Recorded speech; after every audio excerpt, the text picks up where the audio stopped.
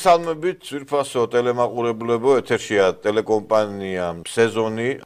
საქართველოში, როგორც კარგად მოგეხსენებათ, ძალიან სერიოზული პრობლემა არის ქალთა მიმართ ძალადობასთან დაკავშირებული, აკვიატებული რაღაც გარკვეული პოლიტიკა, რომელიც ფემიციდის საფარქვეშ შეიკერა და ვითომ ქალთა უფლებებზე მოსაუბრე და მომუშავე ადამიანების მიზანი, რომლებიც დასავლეთიდან სერიოზულ გრანტებს ღებულობენ, არა რეალურად ქალთა უფლებების დაცვა მართლა, არამედ კაცების განადგურების და კაცმოძულეობის პოლიტიკის წარმართვა არის.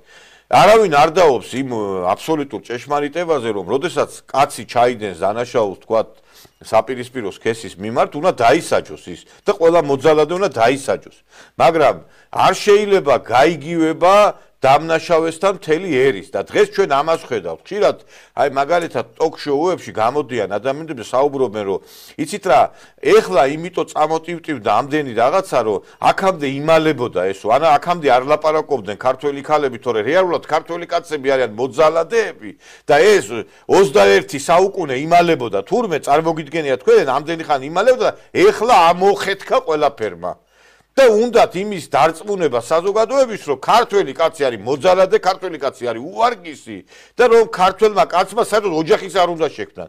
აი ეს არის დედააზრი იმ საინფორმაციო პოლიტიკის, იმ არასამთავრობო ორგანიზაციების მუშაობის, იმ ზონდერ ფემინისტური ჯგუფების აქტივობის. თორე როგორ შეიძლება ახლა იმაზე ლაპარაკი რომ დანაშაული რო ხდება ეს ესე იგი სულ ასე არის. ყოველთვის ხდებოდა საქართველოსში რომ ზოგჯერ კაცი კლავდა ქალს ქალი კლავდა კაცს რაღაცა სტატისტიკაც იყო ამისი მაგრამ დღეს გამადიდებელი შუქით მხოლოდ ესე იგი შუქდება ეს ყველაფერი და წარმოჩინდება თვითქოს რომ აი მოიმატა რაღაცმა. მოიმატა იმიტომ რომ კიდევ ერთხელ ვიმეორებ თუ სტატისტიკა არის გაზდილი იმიტომ არის გაზდილი რომ ნებისმიერი გარკვეული უთანხმოება ოჯახში შელაპარაკებაც კი თავდება ბოლოს რომ იქ კაცი კაც აპატიმრებენ იმიტომ რომ ეუნება მიდის რგოლები ტრიალებს კარგად მოგეხსენება დღეს სივცეში მედია სივცეში რომ თუ რაღაცა ხმამაღალი გითხრა კაცმა ან რაღაცა მოგიხვიდა უთანხმოება დარეკე ჩვენთან და ჩვენ მერე მივხედავთ საქმეს და როგორ მიხედეს საქმეს, კარგად ვიცი ჩვენ. როდესაც სასამართლოში განქორწინებისთვის მიდის სოლქმარი, პირველ რიგში მოსამართლე ეკითხება, რომ მოდით ნუ დავანგრევთ ოჯახს, გააძლევთ 6 თვიან მოსაფიქრებელ ვადას და კარგად მოიფიქრეთ და იქნება გადაიფიქროთ. და ჩვენთან რა ხდება? ჩვენთან მოდის ესეთი პოლიტიკა, რომ დაანგრიე ოჯახი, კაცმა რაღაცა გითხრა, დაანგრიე ოჯახი. აი ეს არის და დაანგრიე, დაანგრიე და აი კატასტროფულად 10000ობით ოჯახი ინგრევა. მე შენ გეტყვი, რაღაცა ისეთი 100 მილიონი ვიყო თვითონ და რაღაცა პრობლემა არისო ჩვენთვის. და გათითოკაცებული ეს ქვეყანა. ისედაც ეხლა უარეს დღეში واردება დემოგრაფიული მდგომარეობის გამო, ამ ოჯახების გრევის გამო და დღეს აი კარგად მოგეხსენებათ რომ როდესაც ამ ყველაფერს უყურებ, გიჩდება ესეთი აზრი რომ ადრე თუ კი სააკაშვილის ხელისუფლებაში ადამიანებს აპატიმრებენ ნარკოტიკების ჩადების გამო და ამით აპუჩებთ აფუჭებდნენ ხალხს დღეს ეს ყველაფერი შეიცვალა იმითი რომ ნარკოტიკების მაგივრად ჩადება ხდება იმ რაღაც სუბუქი ყოფაქცევის ქალების როლებით შემდგომ იტყვიან რომ აი ა ჩემზე რაღაცა სხვანაირად შემომხედა და მე აი ეს კაცები მიდიან ციხეში. და დღეს 80% საპატიმროებში სწორედ აი მოჯახური ძალადობის ქალთა მიმართ ძალადობის საქმეებით არის ესეთი შეკერილი საქმეები. და ეს სტატისტიკა სწორედ ამიტომ არის ესეთი მაღალი და არცა დარასდროს არც სააკაშვილის ხელისუფლების დროს არც მანამდე კიდე არ შუქდებოდა ესეთი დანაშაულებები და არ იყო ვიდეო პატრული საინფორმაციო გადაცემა და დღეს აი ყველაზე გულდასაწყვეტი ის არის რომ ამ ხალხს არც мама ყავს ვითომ არ ჩვილები ყავს არ ეშინიათ რომ ეს ბუმერანგივით დაუბრუნდება თავად იმიტომ რომ დღეს ქალებს ეუნერგავენ იმას რომ თუ რაღაცა არის უნდა დაიჭირო ადამიანი აბა რა უნდა ქნა მე არ ვლაპარაკობ იმას რომ ჩვენ ეხლა ყველა კაცი ანგელოზია და მოძალადე არ არის. მოძალადე უნდა დაიჭირო და მოძალადე როდესაც არის უნდა ადამიანმა გაშორდე იმ მოძალადე ქმარს. უნდა 1000 საშუალებაა დღეს არ არის ისეთი რაღაცა 90-იანების ბნელი ეპოქა რომ თუ ადამიანთა ცხოვრება არ გინდოდეს განერიდო მას ხო? და რატო ცხოვრობ? მაშინ მასთან. მე ერთი ყველაზე საყურადღებო ამბავია აი ქალთა მიმართ ძალადობები მე შევისწავლე და ძირითადად დანაშაულებები ხდება იმ ადამიანების მხრიდან, რომლებიც არიან ნარკოტიკული ზემოქმედების ქვეშ. დღეს, როდესაც ნარკოპოლიტიკის ლიბერალიზაცია ესეთი ფართოდ გაიჩალა, აი ხშირ შემთხვევებში ის მოძალადე ადამიანები არიან ამ ნარკოტიკული თრობის ქვეშ. თქვენ უნდა გადახედოთ, აი ვინც არის ამ გარკვეული აი იმ სახელმწიფო პროგრამის ფარგლებში ზიან ის მამაკაცები, რომლებიც იღებენ იმ საშუალებას, რომლითაც იკლავენ აი ამ ნარკოტიკული ნივთიერებებისადმი სწრაფვას. ამას ქვია მეტადონის გარკვეული პროგრამა. აი ამ პროგრამის ქვეშ დღეს უამრავი ადამიანი არის. იმ დღეს კაცო ვიყავი მაშინ რა ქვია სამშობიაროსთან სამშობიაროში ვიყავი იმაზე ვაჟაზე და კაცო, ამაკაცების საკმაოდ დიდი რაოდენობა იყო შეკრებილი და მიკვირდა რა ხდება, ესეთი თან საეჭვო ადამიანები იყვნენ, რაღაცა ჩაშავებული ამ ბენდენებით, ამ აჭკებით, რაღაცა ცოტა წელში მოხრილები და რაღაცა და ალბათ მეთქი ვიღაცას ბავშვი გაუჩნდა და იმიტომ უხარიათ, მაგრამ მე ვერ შევატყვი იქ ძალიან გახარებული ადამიანების ყოფნა. ესე იგი, ახალგაზრდობის საკმაოდ დიდი ნაწილი არის აი ამ პროგრამის ქვეშ. და ამას ესე დღომარეობაში ამ ქვეყანას კიდევ მარიხუანას ის დაემატა ლიბერალიზაცია რომ ანუ მარიხუანა რომელიც იზველი მარიხუანა არ არის და ამას ექსპერტები ნარკოპოლიტიკის ექსპერტები საუბრობენ დღეს საქართველოში ქორწილები რო იმართება ღვინო აღარ ისმევა ადამიანები ორი ჭიქის შემდგომ მარი მას ღებულობენ რა ქვია ნარკოტიკებს. და მე ეს ნარკოტიკების ზე მოქმედების ქვეშ ყოფი ადამიანები ადენენ მართლა ძალადობას ხებას არა მარტო ქალთა მიმართ, არამედ უამრავი დანაშაულებები ხდება, ხო? ეგერ ბავშვი გაიტანა ანგელოზივით ბავშვი ადამიანმა და ნარკოტიკული თრობის ქვეშ ყოფილა. ეგერ ვიღაცამ მოახდინა ასევე ძალადობა, ისიც ყოფილა ნარკოტიკის ქვეშ. მე არ ვიცახი რომ ყველა ნარკოტიკული ზემოქმედების ქვეშ არის, მაგრამ ძალიან დიდი ნაწილი დანაშაულებების ამიტომ ხდება და ესეც ვისი ბრალია. ი ბრალია იმ ადამიანების ვინც აეს შემოკვტედა დასავლეთიდან რომ მიუცეთ თავისუფლება ადამიანებსო თავისუფლების საშუალება მაშინ მივცეთ ადამიანებს ტიტულებმა იარო ქუჩაში მივცეთ საშუალება იარაღი ატარონ ამერიკაშიც არის ხო? ჩვენ ისეთი იმპულსურიერი ვართ მართლა რომ მიიღო ნეკანონი ნახევარი საქართველოს გადაიცხრილება. ამერიკაში ხო თავისუფლად შეგიძლია იარაღი იყიდო რაღაცა გარკვეული შესაბამის პროცედურებს რო გაივლის. რაც არის დასავლეთში აპრობირებული იმის აქ გადმოტანა არის სავსებით არასწორი თუ დასავლეთში არის ნარკოტიკული საშუალებების რაღაცა ლიბერალიზაცია, იქ სამსახურებიც არის. ადამიანი დეპრესიაშია დღეს, კაცი სამსახურშო ვერ შეულობს, როდესაც ვერაფერს ვერ აკეთებს, ოჯახს ვერ არჩევს. ეს ნარკოტიკული საშუალებები, ეს ლუდომანია, არის ერთ-ერთი საშუალება იმისა, რომ გაექცეს ამ ძიმე რეალობას, რომელშიც ის იმყოფება. და ამიტომ ხდება ეს ყველაფერი. და ამას ასე არავინ არ უყურებს ამ ამ პრობლემას იღმისეულად. და დღეს მხოლოდ ესე იგი მიდის იმაზე საუბარი, აი საქართველოს დაუძინებელი მტრებისა, რომ ესე იგი თურმე კაცი ცუდია და დღეს აი ამ ტოკ-შოუებში საინფორმაციო გასართო პროგრამებში დღე და ღამე იმაზე მიდის საუბარი, რომ ქართველი კაცი არის მოძალადი. და ერთ-ერთი აი ეხლა ხანს იყო რაღაც გადაცემა Prime Shows, ტელეკომპანია იმედი, რომელიც არაფრით არ ჩამოუვარდება უკვე ფაქტობრივად ნაცმოძრაობის პროპაგანდისტულ მანქანებს აი ამ მიმართულებით ამ პოლიტიკით იმ დღეს ესე იგი თელი ეს დარბაზი შეიკრიბა. ჯერ მე ვერ გავიგე. თუ ტოკ-შოუს ატარებ შე დალოცვილო. რაღაცა ბალანსი ხო უნდა იყოს დაცული. ანუ რაღაცა რაოდენობა ადამიანების უნდა იყვნენ ერთ პოზიციაზე მეორე რაოდენობა უნდა იყვნენ ერთ პოზიციაზე.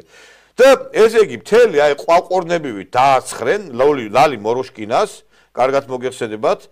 და ქალბატონი რომელიც გამოირჩევა ჯანსაღი პრაგმატული კონსერვატიული შეხედულებებით და ლალი მოროშკინას დააცხრა ეს მთელი წამყვანები და მთელი გადაცემა ისე შეარჩიეს ეს სტუდია რომ ამას ჰქონდა განსხვავებული პოზიცია ამ კაცმოძულეობრივი ზონდერ ფაშისტური პოლიტიკის მიმართ მე თან წარმოვადგენ ლიდერ ქალთა საზოგადოებას, რომელიც აერთიანებს 10000-ზე მეტ ქალბატონს, მთელი ცხოვრება უფლე დამცველად მუშაობ, მათ შორის სასჯელახსრულების სისტემაში. ის რომ ძალადობა ცუდია, ეს არის ცალსახა. ის რომ არც ქალზე, არც მამაკაცზე, არც მოხუცზე, არც ბავშვზე არ უნდა იძალადო, ესეც ცალსახაა. საერთოდ ამაზე ლაპარაკიც მიმაჩნია, რომ რაღაცა ცალსახა, იმიტომ რომ მუშაობ მაქსპეროში და გასაგებია რომ ცალსახა. აი სიუჟეტი რო ნახე ცალსახა იყო? ცალსახა იყო? იცი რა არის ხო არასწორად არის წარმოდგენილი სიუჟეტი? მიეცინა წარმოდგენილი რა იყო რა თქმა უნდა არა არა არა. არ იყო მარტო რეალობა რაც არის ის არის გადაღებული რაც ლაპარაკობ როგორ არა არა ერთი წუთი რა მოდით რა შევთანხმდეთ ერთ რამაზე ეს სიუჟეტი არასახავდა სწორად ყველაფერს იმიტომ რომ ბოლო-ბოლო მიეცა ტელეფონი ხო და ეჩვენებინა იმიტომ ერთი წუთი ხა მეც ხომ აქვს უფლება გამოვთქვა ჩემი აზრი. კიდევ ერთხელ ასე მგონია რადგან საქართველოსი დაფიქსირდა ოდესღაც აბორტები როდესაც ციცილებდნენ გოგონებს ახლა ქალბატონებმა უნდა მოიცილონ მამაკაცები. ჩვენ ვცხოვრობთ იმ პერიოდში როდესაც დასაბრუნებელია ტერიტორიები და უნდა აღზარდოთ ვაჟკაცები რომლებსაც არ ექნებათ ურთიერთობის პრობლემა. ეხლა მე გეტყვით რა არის ეს ურთიერთობა? ბოლო საშინელი ომის პერიოდში პერიოდში ჩემთან ცხოვრობდა ორი უკრაინელი ქალბატონი, რომელიც ღამის პირველ საათზე ძალიან მოკლე კაბით, წითელი პომადით გადიოდა სიღნაღის ქუჩებში. და მე მივმართე მას და ვუთხარი ორივე ახალგაზრდა გოგონები რომ არ შეიძლება ეს არის კახეთი შეიძლება ადამიანი ნასვამი მოდიოდეს იმიტომ რომ გასაგებია სიღნაღში ყველა ჩამოდის გასართობად. და როდესაც თქვენ აი ასე ძალიან ლამაზი გოგონები ხართ, მაგრამ შუაღამისას ნუ დადიხართ ქუჩაში, სხვათა შორის მივიდნენ ერთხელ ინციდენტამდე, იმიტომ რომ მოვიდნენ ჩემთან და მითხრეს, ბიჭები მოდიოდნენ, ღეროდნენ და ჩვენო გამოგველაპარაკნენო და ესეთი შთაბეჭდილება გრჩება, რომ თქვენო ქართველი მამაკაცებიო, ქართულ მამაკაცებსო, აი ესე ხელიც კი მომკიდესო, რომ გავისეირნოთო გითხრესო. აი მე არ მინდა ვუთხარი მაშინ ამ გოგონებს რომ ან წესიერად ჩაიცვით და საერთოდ ნუ გადიხართ აი ასე, ან ქართველ მამაკაცებზე პრეტენზია ნუ გექნებათ. ეს არ ნიშნავს რომ მე რაღაცა მომენტით შეიძლება გავამართლო, მაგრამ როდესაც მოდის ნასვამი კაცი, ეს მე გეუბნებით ბოლო кейს რაც ჩემთან მოხდა სასტუმროში. და ხდება ძალიან ლამაზი, ძალიან მოკლე კაბაში გოგო და ხდება მასთან გასაუბრება, შემდეგ ეს აღქმა ხდება იმისი, რომ ძალადობა, მე კარგად მესმის რა არის ძალადობა და კარგად მესმის რა არის ფლირტი. მოდით ნუ ვიზამთ იმდენს, რომ ძალადობა, ფლირტი და უბრალოდ ქალთან ურთიერთობა აირევა, იმიტომ რომ ჩვენ ახლა უნდა მოვახერხოთ, კულტურულად გავიაროთ ეს გზა, ზედმეტობის გარეშე ისე რომ არ დავაკნინოთ ისედაც დაკნინებული ბოლო გენოფონდის მდგომარეობა საქართველოში. და ტელეფონები მივცეთ მამაკაცებს? არა, ლალი. არა, როდესაც იცი რა, ეს რეგიონის სიუჟეტი არასწორად ხე სიუჟეტი წარმოდგა. ანუ ლალი ძალიან მიყვარს თქვენგან მართლა. აი, მართლა ლალისგან ძალიან მიყვარს, იმიტომ რომ ანუ ჩემი თავისუფლების შეზღუდვა, ჩემი ტანსაცმლის ჩაცმულობის შეზღუდვა არის იმას დამოკიდებული, რომ ვიღაც მამაკაცი ნასვამი არ იყოს და იმან არა, მე არ მინდა უბრალოდ რომ ქართველ მამაკაცებს ამბობდნენ რომ მოძალადოები არიან. არ მინდა. აბა ანუ რა შეიძლება არა, რა შეიძლება სასჯელ აღწევების სისტემა მოზალოდ ეხარა ძალიან ბევრი მამაკაცი არის ამ სისტემაში მოხვედრილი იმიტომ რომ აფექტის დროს უჩივლეს მეუღლეებმა. როდესაც ამბობთ რომ მე რატო შეცვალეს არა თუ დაარტყა ამისთვის ნამდვილად არსებობს ახლა მაგ დაარტყმაზე არ არის ხა მე ხო არ ვგევარ ადამიანს რომელიც სიტყვის რომ კარგია რომ დაარტყა და კარგია რომ მოხლა არა აქცენტი და არა მაგრამ კომპლიმენტებზე და აქ მართ ფემიციდია საუბარი სადაც რეალურად ნახეთ დღეს ხო არ არის მოდი შევთანხმდეთ ყველა დღეს აღარ არის ეს დაფარული ინფორმაცია ვიცით ვიღაცამ იქ მოკლაცოლი ვიღაცამ აქ მოკლა დედა. ნუ ეს ხო არ აღარ იფარება ყველა მის არ არის გახშირებული. უბრალოდ ეს არ იყო სოციალური ქსელი, არ იყო ტელევიზია, არ არის ყოველთვის ხდებოდა დანაშაული. ყველა მამაკაცი უნდა დაისაჯოს, რომელიც ძალადობს ქალზე. ეს ცალსახა ამას საერთოდ არ არის. ეს არის წყალი ეხა, შენ რასაც ამბობ, ან გაზეთს არ კითხულობ, ან Facebook-ს არ კითხულობ, ან მომატებულ დანაშაულს არ კითხულობ. არ არის მომატებული. ანუ შენი ბოდი შეგეთქვი, შენი რიტორიკა რა არის? იცი, დაახლოებით ესე რომ დავმარცხლოთ, ანუ რა აზრი შეიძლება გამოვიტანოთ, რომ ანუ ქალებს მიმართავ რომ ქალებო არ მისცეთ მამაკაცებს ზედმეტი მიზეზი რომ მოკლათ და ამიტომ მოდი დაემონეთ ბოლომდე და მიეცით არა საერთოდ როცა ხედავ როცა არა ერთი წუთი მართალია როცა ხედავ რომ შენ აღმოჩნდი მანიაკის გვერდზე ათჯერ რატომ უნდა შეურაცხად ადამიანთან რატომ უნდა შეხვიდე დაპირისპირებაში ეგრევე წამოდი უნდა წამოხვიდე არა არ გიშვებს რას ქვია არ გიშვებს 21 საუკუნე არ გინდა ვარსი შემთხვევა არ ვიცი ვის არ უშვებენ 21 საუკუნე არა აი საუბრობთ ფემიციძე და არ ვსაუბრობთ ფემიციდის გამომწვევ მიზეზებზე იმიტომ რომ მე მგონი აქ ყველა ვთანხმდებით რომ მიზეზი რომელიც რომელიცაც გაამართლოს ფემიციდი არ არსებობს. ამაზე იმედი მაქვს რომ ყველა ვთანხმდებით. ფსიქიატრია ჩვეულებრივ არა ერთი წუთი ვარი დავასრულებ ნახე იმიტომ რომ გადის ზღვარისა წითელ პომადაზე მოკლე იუბკაზე და სუბუქი ყოფაქცევის ქალზე რომელიც რა კონტექსტში ახსენეთ ჩემი თქვენ და მი დამოკიდებულების მიუხედავად ახლა იყო ჩემთვის გაუგებარი.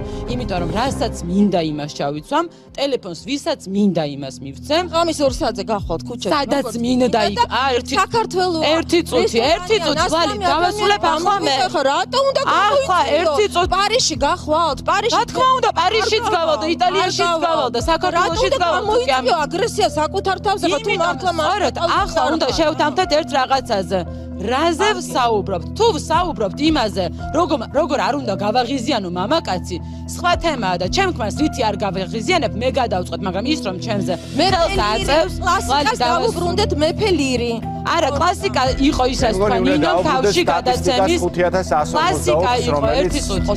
კლასიკა იყო ის რაც ნინომ თქვა თავში, რომ კარგი ცხენი მათ რახს არ დაიწყავს. ეს წინადადება თავის თავში გულისხმობს რას, რომ არსებობს ცუდი ცხენის და სანამ ეს აღქმა გვექნება კი ნინი ასეთი ქალების ძიან მოძალადე შვილებს და ეს არის მთავარი პრობლემა ვერც კანონი გვიშველის ვერც პროკურატურა და ვერც ჩვენ მიერ გატარებული სხვადასხვა კამპანიები ეს არის სწორედ პრობლემა აი ხა აი ლამის ერთი არ ჩაქოლეს ახლა ქალბატონი ლალი ლამის ესე იგი არ დაწვეს კოცონზე და ქვები არ ესროლეს სტუდიაში. აი წარმოგიდგენია თქვენ. ამ ციგნი არ წაგიკითხია გაზეთი არ წაგიკითხია. და რო წამიკითხია და თქვენ რომ მართლა უციგნურები ხარ და რო არიცით ეს რა რატო ხდება ესე და ჯერ არ არსებობს რომ ხალი კაცი თქვათ ხალს აყენებდეს რაღაცა გარკვეულ შეურაცხყოფას იმიტომ რომ ხალი არის მაგ შემთხვევაში ეგრე მაგდა პაპიძე მოკლა თავისი შვილი და მოკლა ქმარი. და იმიტომ ხო არ მოკლა რომ მამაკაცები იყვნენ ეს ორივე? არამედ იმიტომ რომ მოხდა გარკვეული კონფლიქტი. და როდესაც თანას ეს არასწორი რაღაცა დასავლეთიდან რაც წამოვიდა რომ რაღაცა გამოყოფილია ეს ყველაფერი შეიძლება გამოყო კოდექსში წერია უმწეო მდგომარეობაში მყოფი ქალის კვლელობა დანაშაული როდესაც ორ სულქას მიაყენებ როდესაც იცი აი ამ შემთხვევაში დამამძიმებელი გარემოება ეს ყველაფერი მაგრამ როდესაც ჩვენ ხედავთ რომ დღეს აი ოჯახში რაღაცა მოხდება და ამაზე განსაკუთრებულად დამძიმებულია ეს მუხლი, რომ ესე იგი როგორ ხალს, სად იმიტომ ხალთან, ცოლთან, იმიტომ მოვიდა კონფლიქტი, რომ აი ეს ხალი არის, სქესით ხალია და ამიტომ მიაყენა, ეს ხო აბსურდია. იმ ხალის გამო კი არ მოხდა კონფლიქტი, არამედ მოხდა ორ ადამიანს შორის, ესე კაცებსაც შორის ხდება. კაცი რომ მოკლა მაგალითად იგივე ცოლმა, მაშინ ცალკე შევიტანოთ იქ მუხლი, რომ კაცთა მიმართ დანაშაულებები. საერთოდ აღრეულია ყველაფერი, ამათ მარც კანონი იციან, არც წაუკითხავთ, არც სტატისტიკა იციან, ადრეც იყო ეს დანაშაულებები. სამწუხაროდ ქვეყანა ისეა მოწყობილი, რომ და სახელმწიფო ისე მოწყობილი, რომ დანაშაული ხდება. და დანაშაულის მომატება რატომ ხდება? ამაზე ვისაუბრე მე უკვე ერთხელ, რომ ეს არის ნარკოპოლიტიკის, არასწორი ნარკოპოლიტიკის შედეგი, რომ მიეცით საშუალება ყველას მიდით და იკაიფეთო, ეს გაბრუებული ახალგაზრდობა შიმ შემთხვევაში აი მართლა ძალადობს. მე არ ვიძახი რომ ყველა ძალადობს. და აი ამიტომაც ხდება ეს დანაშაულებები. და არ ხდება კიდე ერის გაიგივება ვიღაცა მოძალადე კაცთან. და ამას აკეთებენ ესენი. ერთ-ერთი ქალბატონი ახლა აი როდესაც პოლემიკაში იყო იმედის სამყვანი ამ იმედში ეს ზონდერ ფემინისტები არიან განსაკუთრებით როგორც ჩანს ეს ნუცა ქავთარაძე ეს აჩიკო სოლოღაშვილის მეუღლე აჩიკო სოლოღაშვილი ალბათ იცით ერთ-ერთი სამყვანი ასევე ხო და ნუ ეს ქალბატონი აი გამოვიდა და მე როგორც მინდა ისე ჩავიცმევო რასაც მინდა იმას ჩავიცვამ, ტელეფონს ვისაც მინდა იმას მივცემ. ამის ორ საათზე გახვალთ ქუჩაში. სადაც მინდა რაზე ვსაუბრობთ? თუ ვსაუბრობთ იმაზე, როგორ როგორ არ უნდა გავაღიზიანო მამაკაცი, სხვა თემაა და ჩემ ქმას რითი არ გავაღიზიანებ, მე გადავწყვეტ. მაშინ შვირო წადი გატიტული და ტიტველმა იარე გარეთ.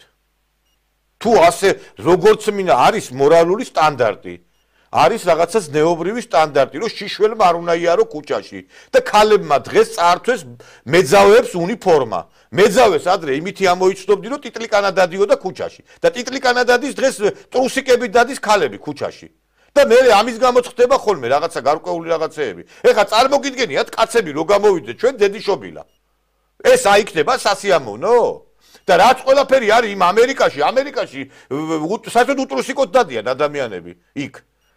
და იქ ყველა აი ეს ყველაფერი מחინჯობა რო წამოვიღე და კარგი წამოღება რო არ გვინა ეს არის ყველაზე დიდი უბედურება და აი ამ ნუცა ქავთარაძეს მინდა უთხრა აი ხა TikTok-ზე როგორც წერენ ადამიანები, რა ვიცი, სხეულის დემონსტრირებას ახდენენ, რომ რაც შეიძლება მეტი კაცი გამოიჭირონ, ალბათ აბა სხვა რა მიზანია, ქალბატონო, ნუცა ალბათ ესე გინდა თქვენ და რაღაცა თუ ბარიერი გიქმნით, გატიტოლდით ქალბატონო ნუცა იმედის ეთერში, მაშინ ეგ არის თქვენი ისა, როგორც მინდა ისე არ არის ეს არის მორალური სტანდარტი, როგორც მე მინდა, მეც ახლა მირჩევნია სიტყვაზე, რომ მაგალითად თავისუფლად ვია რომ გასტუკი არ მეკეთო საქა და რაღაცა მაიკა ჩავიცვა ან შორტები თუ იარო მაგალითად მაგრამ არ არის სტანდარტი ესე სამსახურში რომ მიდიხარ შარვალი უნდა გეცვეს. და რაღაცა არ არის ესე გირჩი ჯაფარიძეს ნაირად არ უნდა მოიქცე. და აი ხა TikTok-ზე ქალები გამოდიან. მე არ ვიცი აი ქართველი ხალი ასე როგორ უნდა დაეცეს როგორც აი აქ ხდება ეს სოციალურ ქსელში. და ეს არის სტანდარტი აი ესე უნდა მოიქცე ადამიანმა რომ ესე იგი ბოდიშ და გაიხადო და რაც გინდა ის აჩვენო რომ ვიღაცამ ყურადღება მოგაქციოს ქმარმა მითხრა ძალიან საყვარელი ხარო. ხოლმის ქმარმა არ გიტყვით. თუ ქალი გინდა გახადო ბედნიერი, უნდა გახადო. ესმე ისევ დავალე ისევ დავითურები შენზე ვიფიქრებოდა შენ მომაგონდები დილან შვიდობის.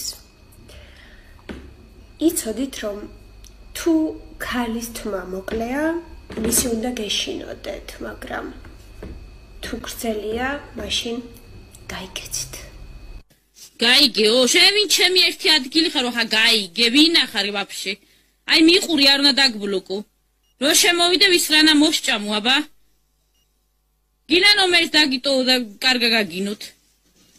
კლიფონა ვეუნები რომ შემოდიხარ და ნუ იწერები ესეთ სუვერს და ახლა გაიგეო. რა კიტრი გაიგე დედა შენის ფიგძელი ქალებს რომლებსაც 24 საათი ბრინჯის ლობიოს და ოსტრის სუნი აგდით პრეტენზიები მოგიჩნდებათ იმ ქალების მიმართ რომლებსაც სასიამოვნო სუნამო სუნი ასდით. სიჩქარეში დამოკარგა გასაღები წამოიღე თუ რამე გაქვს ასაღები სიყვარული ზეცაში გვაქვს ასაღები. ვერ ვიპოვეთ ამღები მინდა რაღაც თქვა ნეგატიური ადამიანების გასაგონად. ვირტუალურ ცხოვრებაშიც და რეალურ ცხოვრებაშიც. ეს ეხება ყველას. როდესაც თქვენ რაიმე ბოროტებას ჩადით ჩემი სამართით ან რაღაცას ამბობთ ნეგატიურს ან მიკეთებ ნეგატიურს იცოდეთ რომ მე ერთდროულად ღმერთიც ლოცავს და ეშმაკიც. Fuego, fuego. Caliente, caliente, caliente, caliente, caliente, caliente, caliente, caliente, caliente, caliente, caliente. A mí no me compare que yo tengo para comprar la competencia.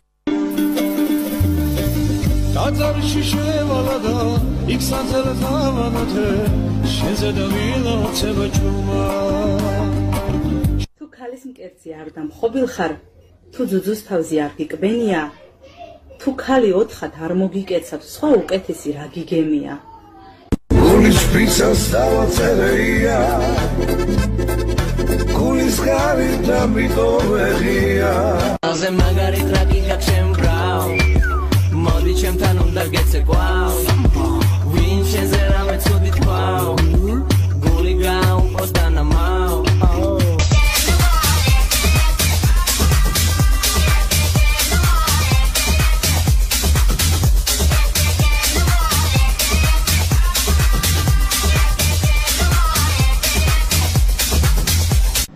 ცოტა ინტიმურ თემას უნდა შევეხო. ტინდერზე ბიჭმა დამისვა ესეთი კითხვა. სქესობრივი კონტაქტის დროს ქალებიო ძირითადად სულ ხუჭავთ თვალებსო და ამას რატო აკეთებთო? საყვარელო ვცდილობთ წარმოვიდგინოთ, რომ ბევრად უფრო მდიდრები ხართ და მეტი სიამოვნება მივიღოთ. სხვა პასუხი არ გვაქვს.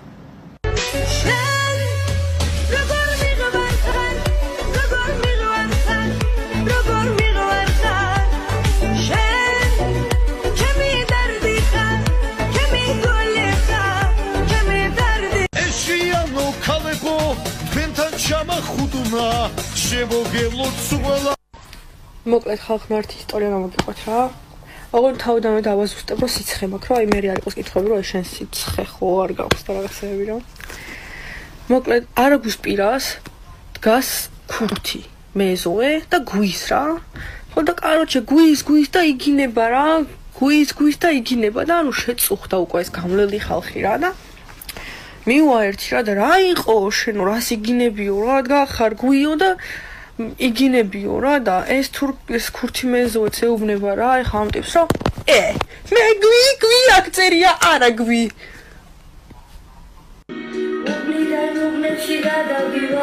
ნაკაიფარი და ნასვამი ვარ სალამი ბიჭებს სადაც ალივარ ჩემი ბიჭისთვის მე წამალი ვარ ვისთვის ნაკავისთვის ალალი ვარ მე ხომ ვიცი რომ რას დამალი ვარ the one. Two, three, four, hit!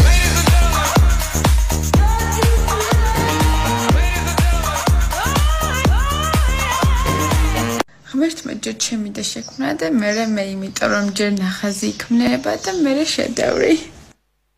ეხა ვიღაცას თუ ეცინება, ეს არის სიმწრის სიცილი რა. ეხა ეს თუ ქართველი ქალის ეტალონი არის, აი არ ვიცი მე და მე ვიღაცა ეხა ან ოჯახის წევრი ეტყვის ამას რომ შვილო რასაკეთებ ადგება დარეკავს პოლიციაში ეს არის ძალადობა და ზემოქმედება ჩემზეო აი ესეთი ქალების კასტა ჩამოაყალიბა დასავლეთმა გესმით რომ უნდა შენ უნდა თუ გინდა რომ იყო პოპულარული გაიხადე ტიტლიკანა იყავი იქ მკერდი აჩვენე იქ საშვილოს ნუ აჩვენე იქ რაღაცა აჩვენე და მე შეიძლება ცხოვრებაც აიწყო. აი ესეთი თაობა უნდა შექმნან გესმით? და ამაზე ლაპარაკობდა ეს ნუცა ქავთარაძე რომ ისაო როგორც მინდა ისე მოვიქცევიმეო და როგორც მინდა ისე გავივლიო რა. ეგრე არ არის შემოკარგო როგორც გინდა მოიქცევი, არის სტანდარტები.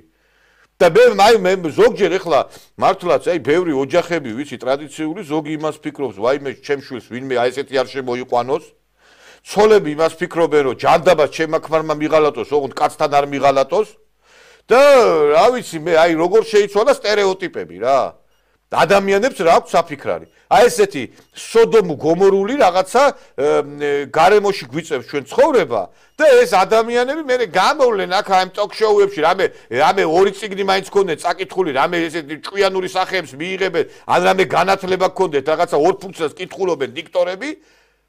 ზოგიერთი იქ ფერად-ფერადი ბიჭუნა ზოგიერთი ხუთ გამოცოლ გამოცვლი ხუჯერ გათხოვილი რა ვიცი მე და რა და რაღაცებს ლაპარაკობენ რა და არავით არის სტანდარტი რო არა აქვს. და გვეუბნებია რომ ქართველი კაცი არის მოძალადე. დღე და ღამე აი ამ ქართული ოცნების ხელისუფლების პირობებში მიდის ესე იგი იმისი მტკიცება რომ ქართველი კაცი არის მოძალადე. სხვა შორის ესეთი რამე ნაცების დროს არ ხდებოდა. ეს ახალი დაკვეთა არის. მაშინ ყველა ციხეში იყო ლოზუნგი ყველა ადამიანზე იყო ციხეში და დღეს ყველა კაცი ციხეში. აი ესეთი ლოზუნგი არის დასავლეთის მხრიდან. აი ეს არის აღმაშფოთებელი რა და ამიტომ ამას ყველაფერს უნდა დაესვას წერტილი. ეხლა ჩვენ სარეკლამო ჭრაზე გავართ, რამდენიმე წუთი შევისვენებთ და დარჩი ტელეკომპანია სეზონზე ძალიან მალე დაგიბრუნდებით. ეს უნდა იცოდე. ვინ უჭერს მხარს საქართველოსი გარყვნილებისა და სოდომიზმის პროპაგანდას? 15-მა პარტიამ და მოძრაობამ ხელი მოაწერა მემორანდუმს და საჯარო პირობა დადო, რომ LGBT თემის უფლებების გაძლიერებისთვის ყველა შესაძლო პლატფორმას გამოიყენებდა. იცნობდეთ საქართველოსა და ეკლესიის მტრებს. მემორანდუმში ვკითხულობთ, თანხდებით, რომ ჩვენს ხელთ არსებული ყველა მექანიზმის გამოყენებით, მათ შორის შესაბამისი კანონშემოქმედებითი საქმიანობითა და საპარლამენტო კონტროლის განხორციელებით, ვიბრძოლებთ საქართველოში ლესბოსელი, გეი, ბისექსუალი, ტრანსგენდერი და ქუიარ ადამიანების მიმართ არსებული დისკრიმინაციისა და ძალადობის აღმოსაფხრელად. საქართველოს კონსტიტუციისა და ადამიანის უფლებათა საერთაშორისო სტანდარტების შესაბამისად დავიცავთ ყველა ადამიანის მშვიდობიანი შეკრებისა და გამოხატვის თავისუფლებას, განურჩევლად სექსუალური ორიენტაციისა და გენდერული იდენტობისა. არ დაუშვებთ ჩვენი წარმომადგენლების მიერ პოლიტიკურ პროცესებში სექსუალური ორიენტაციისა და გენდერული იდენტობის წინაშე, სოციალური შუღლის გაღვივებასა და სიძულვილის ენის გამოყენებას. მემორანდუმს 15-მა პოლიტიკურმა პარტიამ დაუჭირა მხარი. ესენია: ერთიანი ნაციონალური მოძრაობა, ნიკანორ მელია,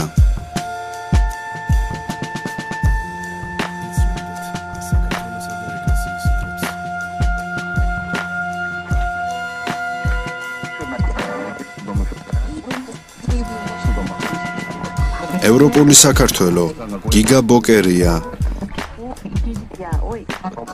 სამართლიანობისთვის ეკა ბესელია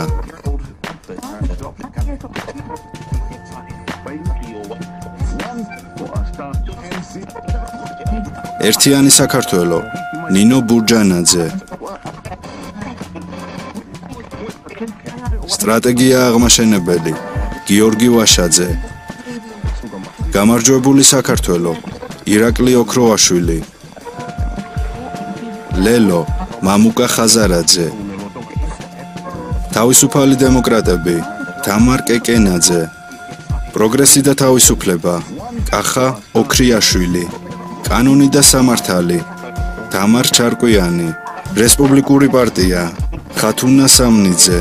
რეფორმერი თორნიკე ჯანაშვილი.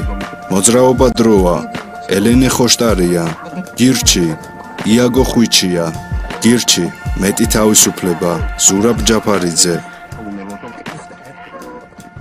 საქართველო სოდომიის გარეშე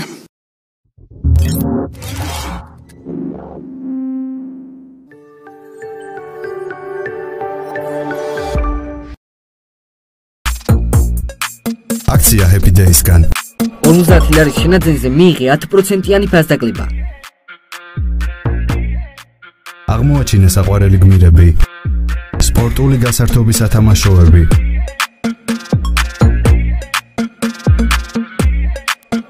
გაუცოცხლეთ ბავშვებს ფანტაზია, საკოლექციო მანქანები, ყველაფერი რაც ბავშვებს გაახალისებს. გაერთე საყვარელ გმირებთან.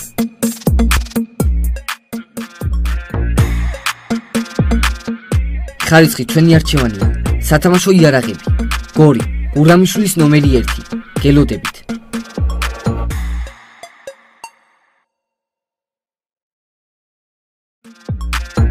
სათამაშოების მაღაზია Happy Day.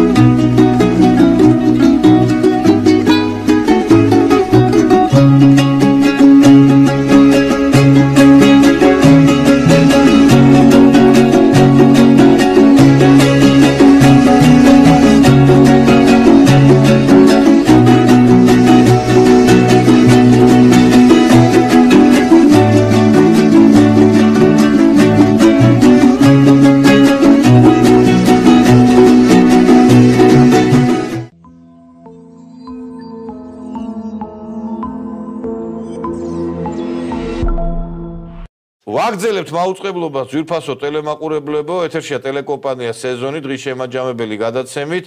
ჩვენი გადაცემის სტუმარი გახლავთ ადვოკატი თამუნა ქუთეთელაძე, რომელიც სხვათა შორის ძალიან ბევრი საქმეები აქვს აი ქალთა ოჯახური ძალადობის, ქალთა უფლებების დარღვევებთან დაკავშირებით, ქალთა მიმართ ძალადობის, სადაც უშუალოდ აი საქმის ყურში არის, ჩემი კოლეგა არის და აი ამ ვითარების შესახებ, როდესაც ესეთი ზონდერ ფაშისტურ ფემინისტური ჯგუფების გარკვეულ идеოლოგია ქვეყანაში მოგესალმებით თამუნა.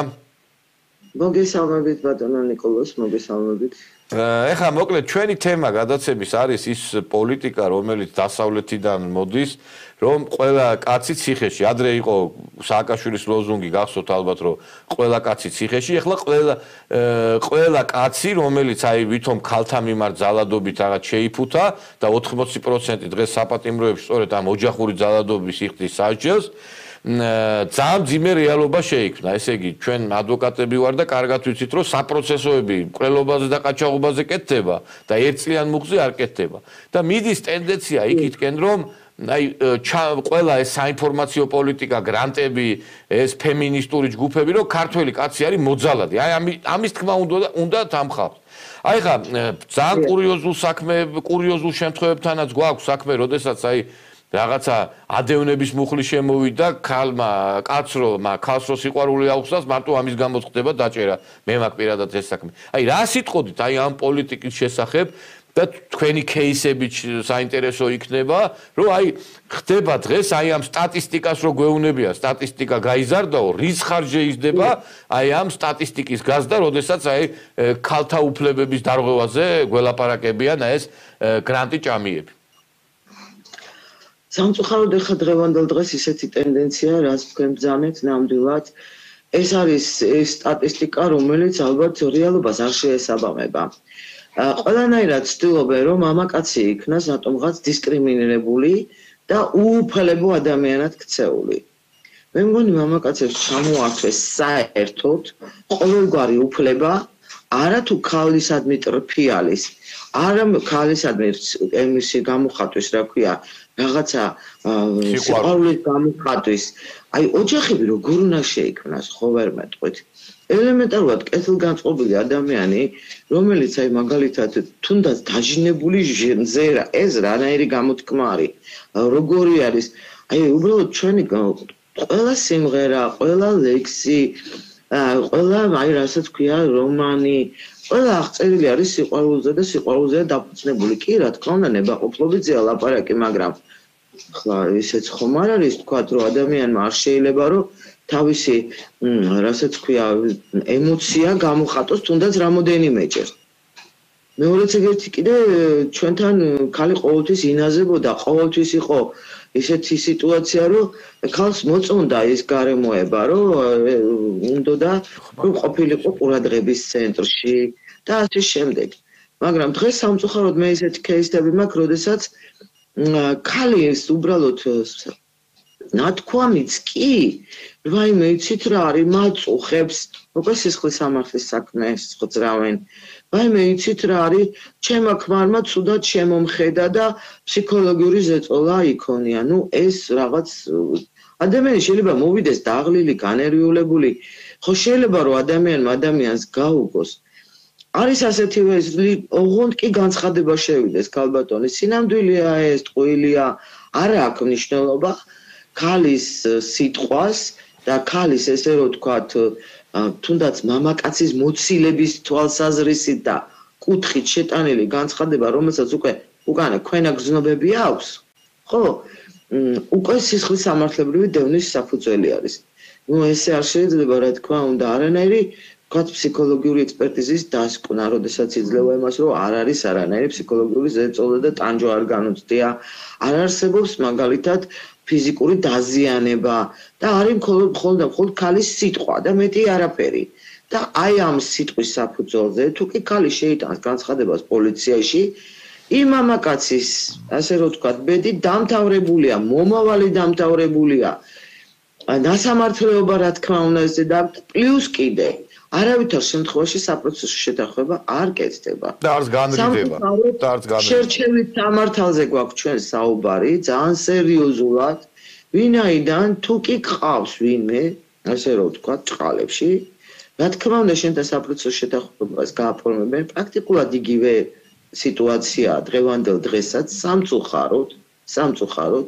ალბათ ეს არის განპირობებული იმით, რომ პრაქტიკულად ძველი კადრებია ძალიან ბევრი დარჩენილი და ისევ ძველი მექანიზმით, ასე რომ ვთქვა, მუშაობენ ერთი ადამიანის პრინციპით, ვინაიდან თვითონ გამოსვლელი პროკურორი ვერაფერს ვერ წვითავს და აქედან გამომდინარე, აი კაცრი პოლიტიკა, რომელიც ყველა მამაკაცი ციხეში ეს ანადგურებს ჩვენს მცირე რიცხოვან ერის ასე რომ ვთქვათ საერთოდ არსებობასაც კი ეს უფრო გენოციდისკენ უფრო მიდის აი ეს სიტუაცია, როდესაც ყველა მამაკაცი ციხეში აი მე უფრო გენოციდისკენ მიმართული მგონია. რომ მამაკაცი რომელიც არის ძირითადი საყრდენი საქართველოსში და ყოველთვის იყო ესე და ჩვენთან როგორც ასეთი განაისრო რამე აი ესეთი იძულების წესით არამედ თვითონ ოჯახი ქართული ოჯახი ყოველთვის იყო ჩამოყალიბებული ისე რომ ოჯახის თავკაცი იყო მამაკაცი და ქალი იყო ოჯახის ასე რომ ვთქვათ ბურჯი და აი ეს აი ეს არ მოწონთ ეთყობა არ აინტერესებთ რომ ჩვენთან ეს ტრადიცია არსებობს და ჩვენთან განაისრო ჩაგრავდეს ვინმე ვინმეს. არამედ ქალი რო აღიქვებოდეს ქალად რასაც ქვია და მამაკაცი იყოს ოჯახის ზუსტად ის თავკაცი რომელიც უნდა უძღვებოდეს ოჯახს. თქვენ ახლა წარმოიდგინეთ პარლამენტს ყავს თავმჯდომარე ხო? როგორცაც სახელმწიფოს ყავს პრეზიდენტი არის პრემიერ-მინისტრი მაშინ რა გამოდის? ყველა აი წარმოიდგინეთ წყობა ხო წყობა არის სახელმწიფოებრივი წყობა შეგვიძლია შევადაროთ როგორც ის ანგელოზებშიც კი არის იერარქია ბოლო-ბოლო და ქრისტიანულათაც ესეა პატრიარქი მაგას ამბობს და ეკლესიურათაც და ყველანაირად. რა თქმა უნდა არის მხევალი ღვთისა არის მონა ღვთისა.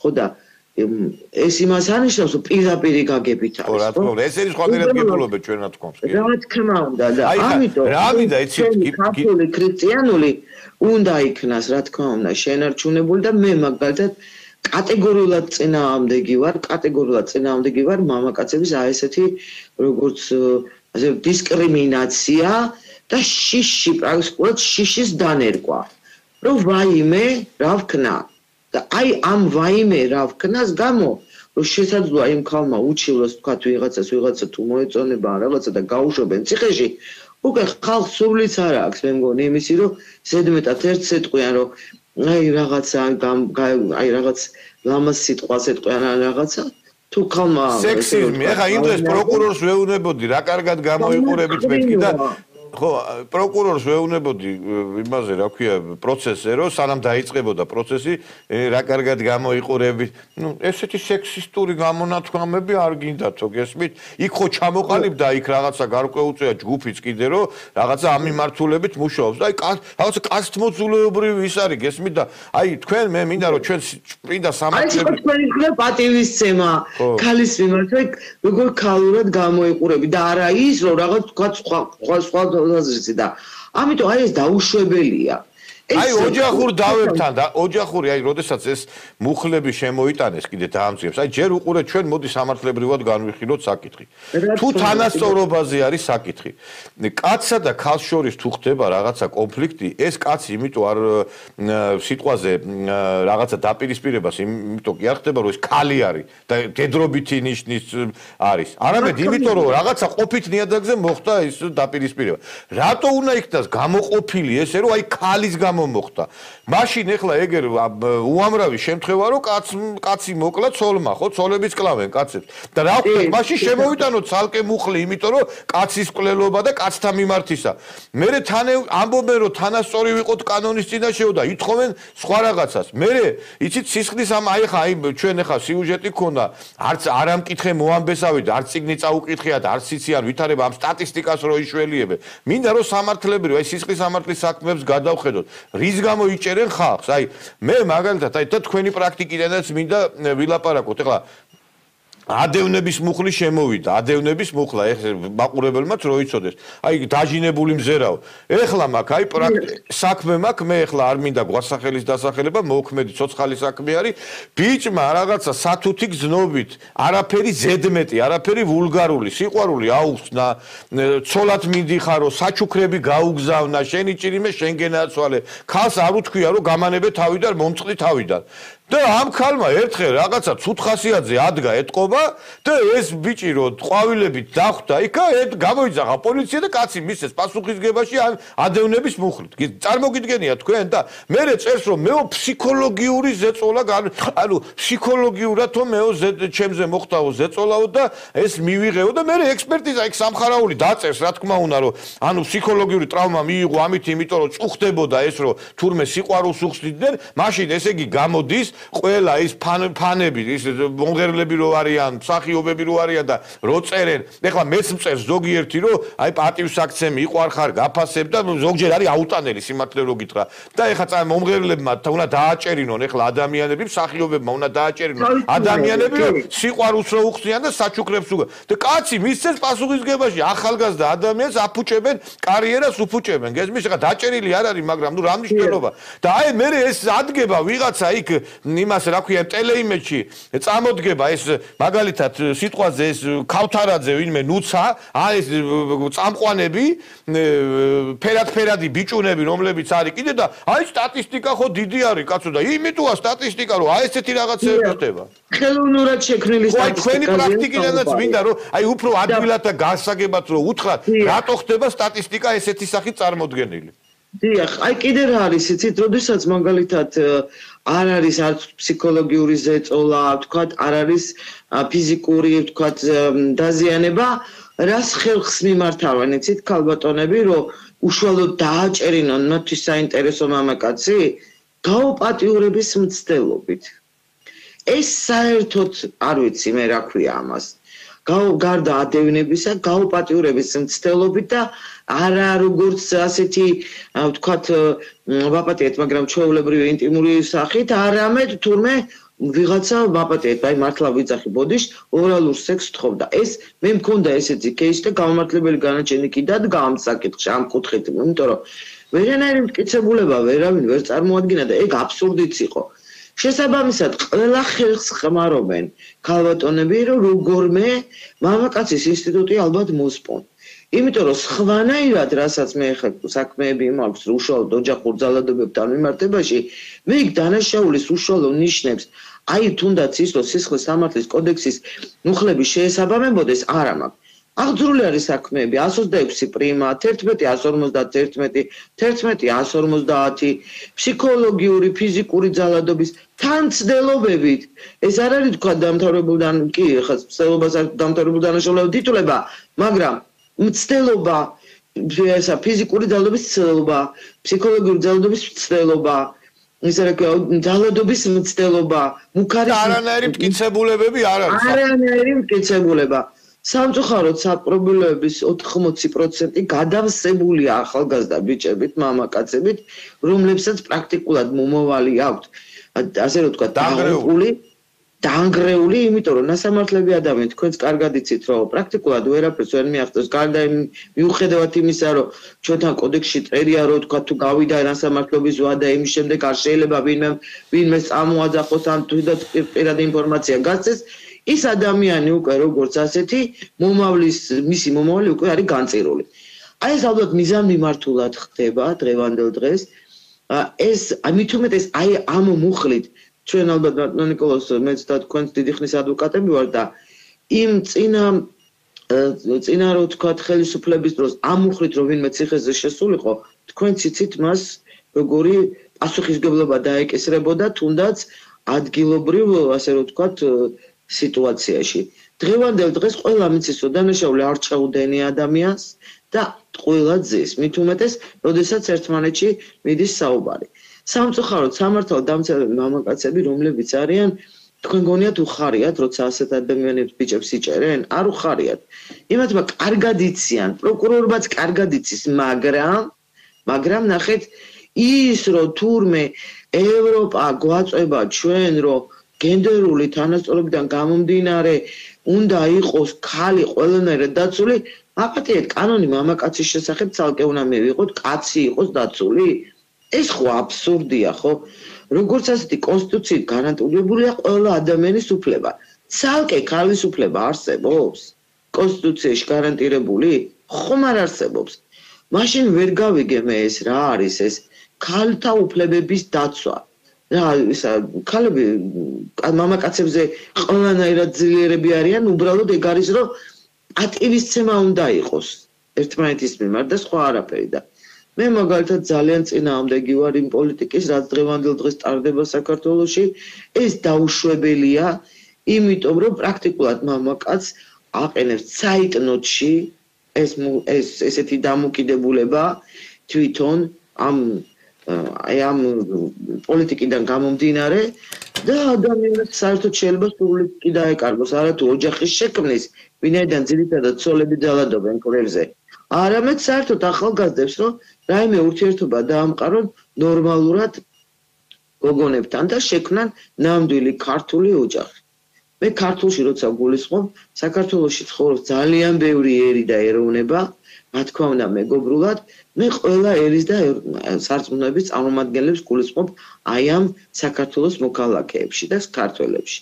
ვინაიდან მათ ისევე უყვართ ჩვენი ქვეყანა, როგორც ჩვენ.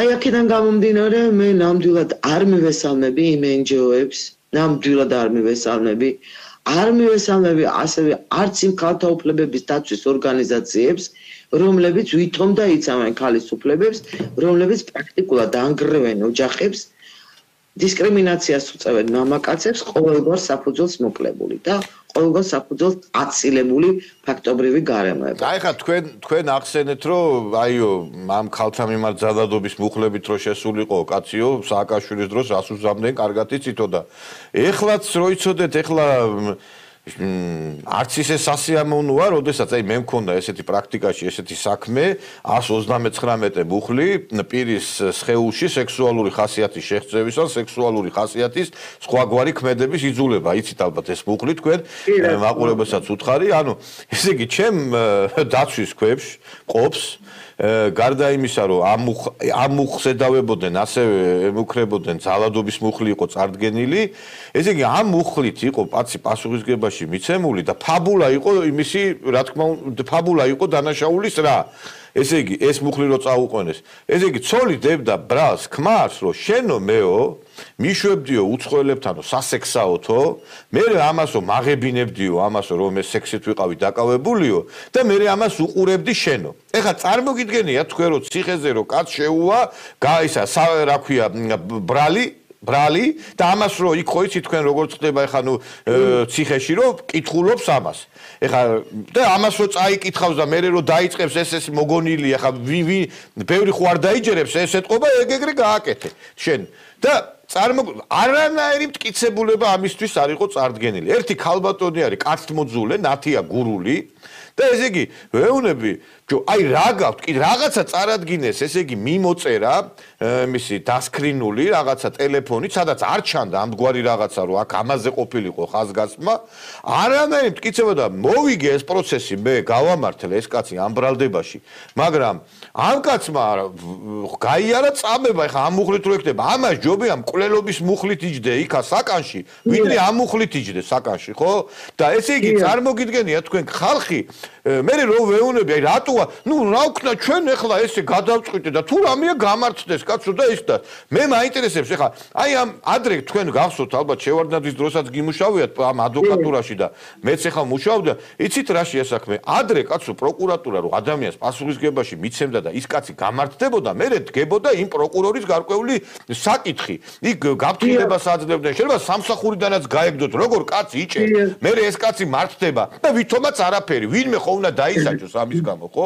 შეიძლება კი ბატონო ადვოკატმა არ შეიტანოს იმ ბრალდებულის იმ რომ მოითხოვოს კომპენსაცია და ზიანის ანაზღაურება გასაგებია მაგრამ შენ ხო უნდა დასაჯო?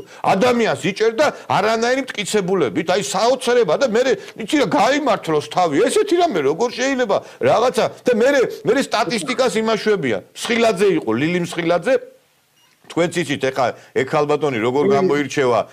ცოტა არ იყოს მითი რა ქვია კაცრი ზედმეტად იმითი და აი ამ ამ ხალბატონის მოსამართლეობის ქვეშ დავაყენე ეს ეს განაჩენი და მე ეს ხალბატონი ნათია გურული კი არ იმას ქნეს რა ქვია რაღაცა შენიშნა დაღაზევეს პირიქით დააწინაურეს ქალაქის პროკურატურაში გადაიყვანეს. ეხლაც ეგ ხალბატონი იყო რომ გამოდიოდა ბასილაშვილის პროცესზე. ეს ბასილაშვილის პროცესი წააგო. ეხლა მე ვეკითხები ამ პროკურატურას. არ უნდა დადგეს ამ ხალბატონის განთავისუფლების საკითხი. აგერ ჩემ შემთხვევაში კაცი ასე დღეში ჩააგდო. ბასილაშვილი რომელიც სლობადი რო არ ყოფილიყო თქვენს კარგად იცი ციხეში იჯდებოდა დღესაც ხო?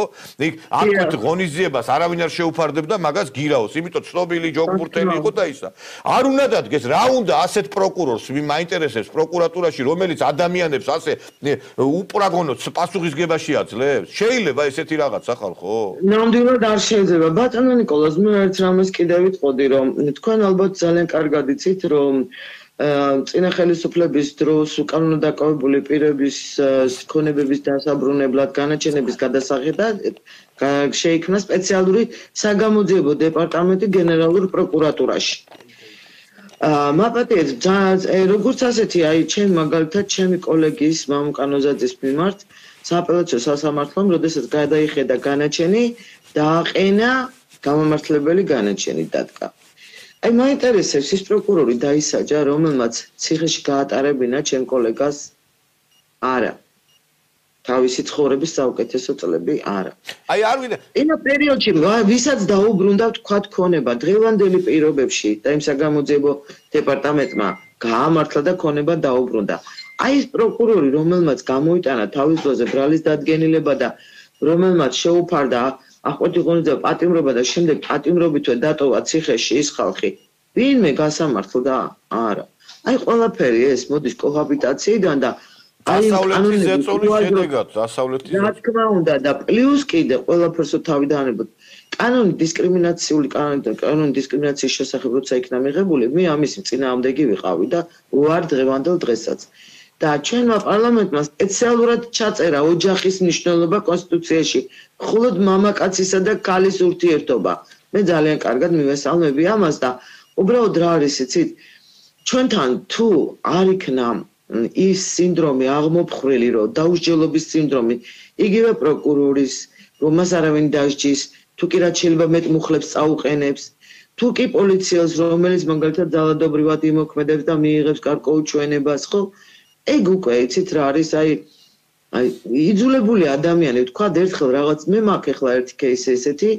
პიროვნება აიძულეს რომ რაღაც ჩვენება მიეცა არა პოლიციაში მისცა ნორმალური ჩვენება რასაც ფიქრობდა. მე დაზარალებულის მხარე მეგრეთ წოდებული დაკავებულის მხარე მე ადგა და ზეტოლა მოახდინა ამ ადამიანზე. რა თქმა უნდა სასამართლოზე იძულებული იყო შეეცვალა ჩვენება დააკავეს ეს პირი და უკვე რა არის ეს უკვე სიმართლე ვეღარ თქვა. ამ ადამიანმა რა მოხდა? ხვდებით, რომ იმას ეგონა კიდე დაიჭერდნენ, იმიტომ რომ მოქალაქი არის, იმას არ ესმის იმდენი. და უკვე მაშინ რა ქვია, სახელმწიფო ინსპექტორის სამსახურშიც იგივე გაემეორა რაც სასამართლოზე, რომ ვითომ წემეს ან რაღაცა მსგავსი, რასაც ადგილი არ ქონია. ну რა თქმა უნდა ეხლა როცა მოვიდა უკვე ჩემთან ადამიანი მითხრა რომ ეს ეს ეს იყო არ ყოფილა მსგავსი უბრალოდ ორი უცნობი პირი მოვიდა და სასამართლოს წინა დროს მითხრეს რომ ეს ესეთი რაღაცა მომხდარა და უნდა თქვა ესეო. ადამიანმა თქვა სიმართლე და დღევანდელ დღემდე აი მიუხედავად იმისა რომ სისხლის სამართ საქმე აღძრეს ვითომ და ჩემი დასქვეშ ყოფის მიმართ დაზარალ როგორც დაზარალებული პირის დასაცავად ეს ადამიანები მე არ ვარ დაზარალებულიო. მე ვიძახი ხა სიმართლესო.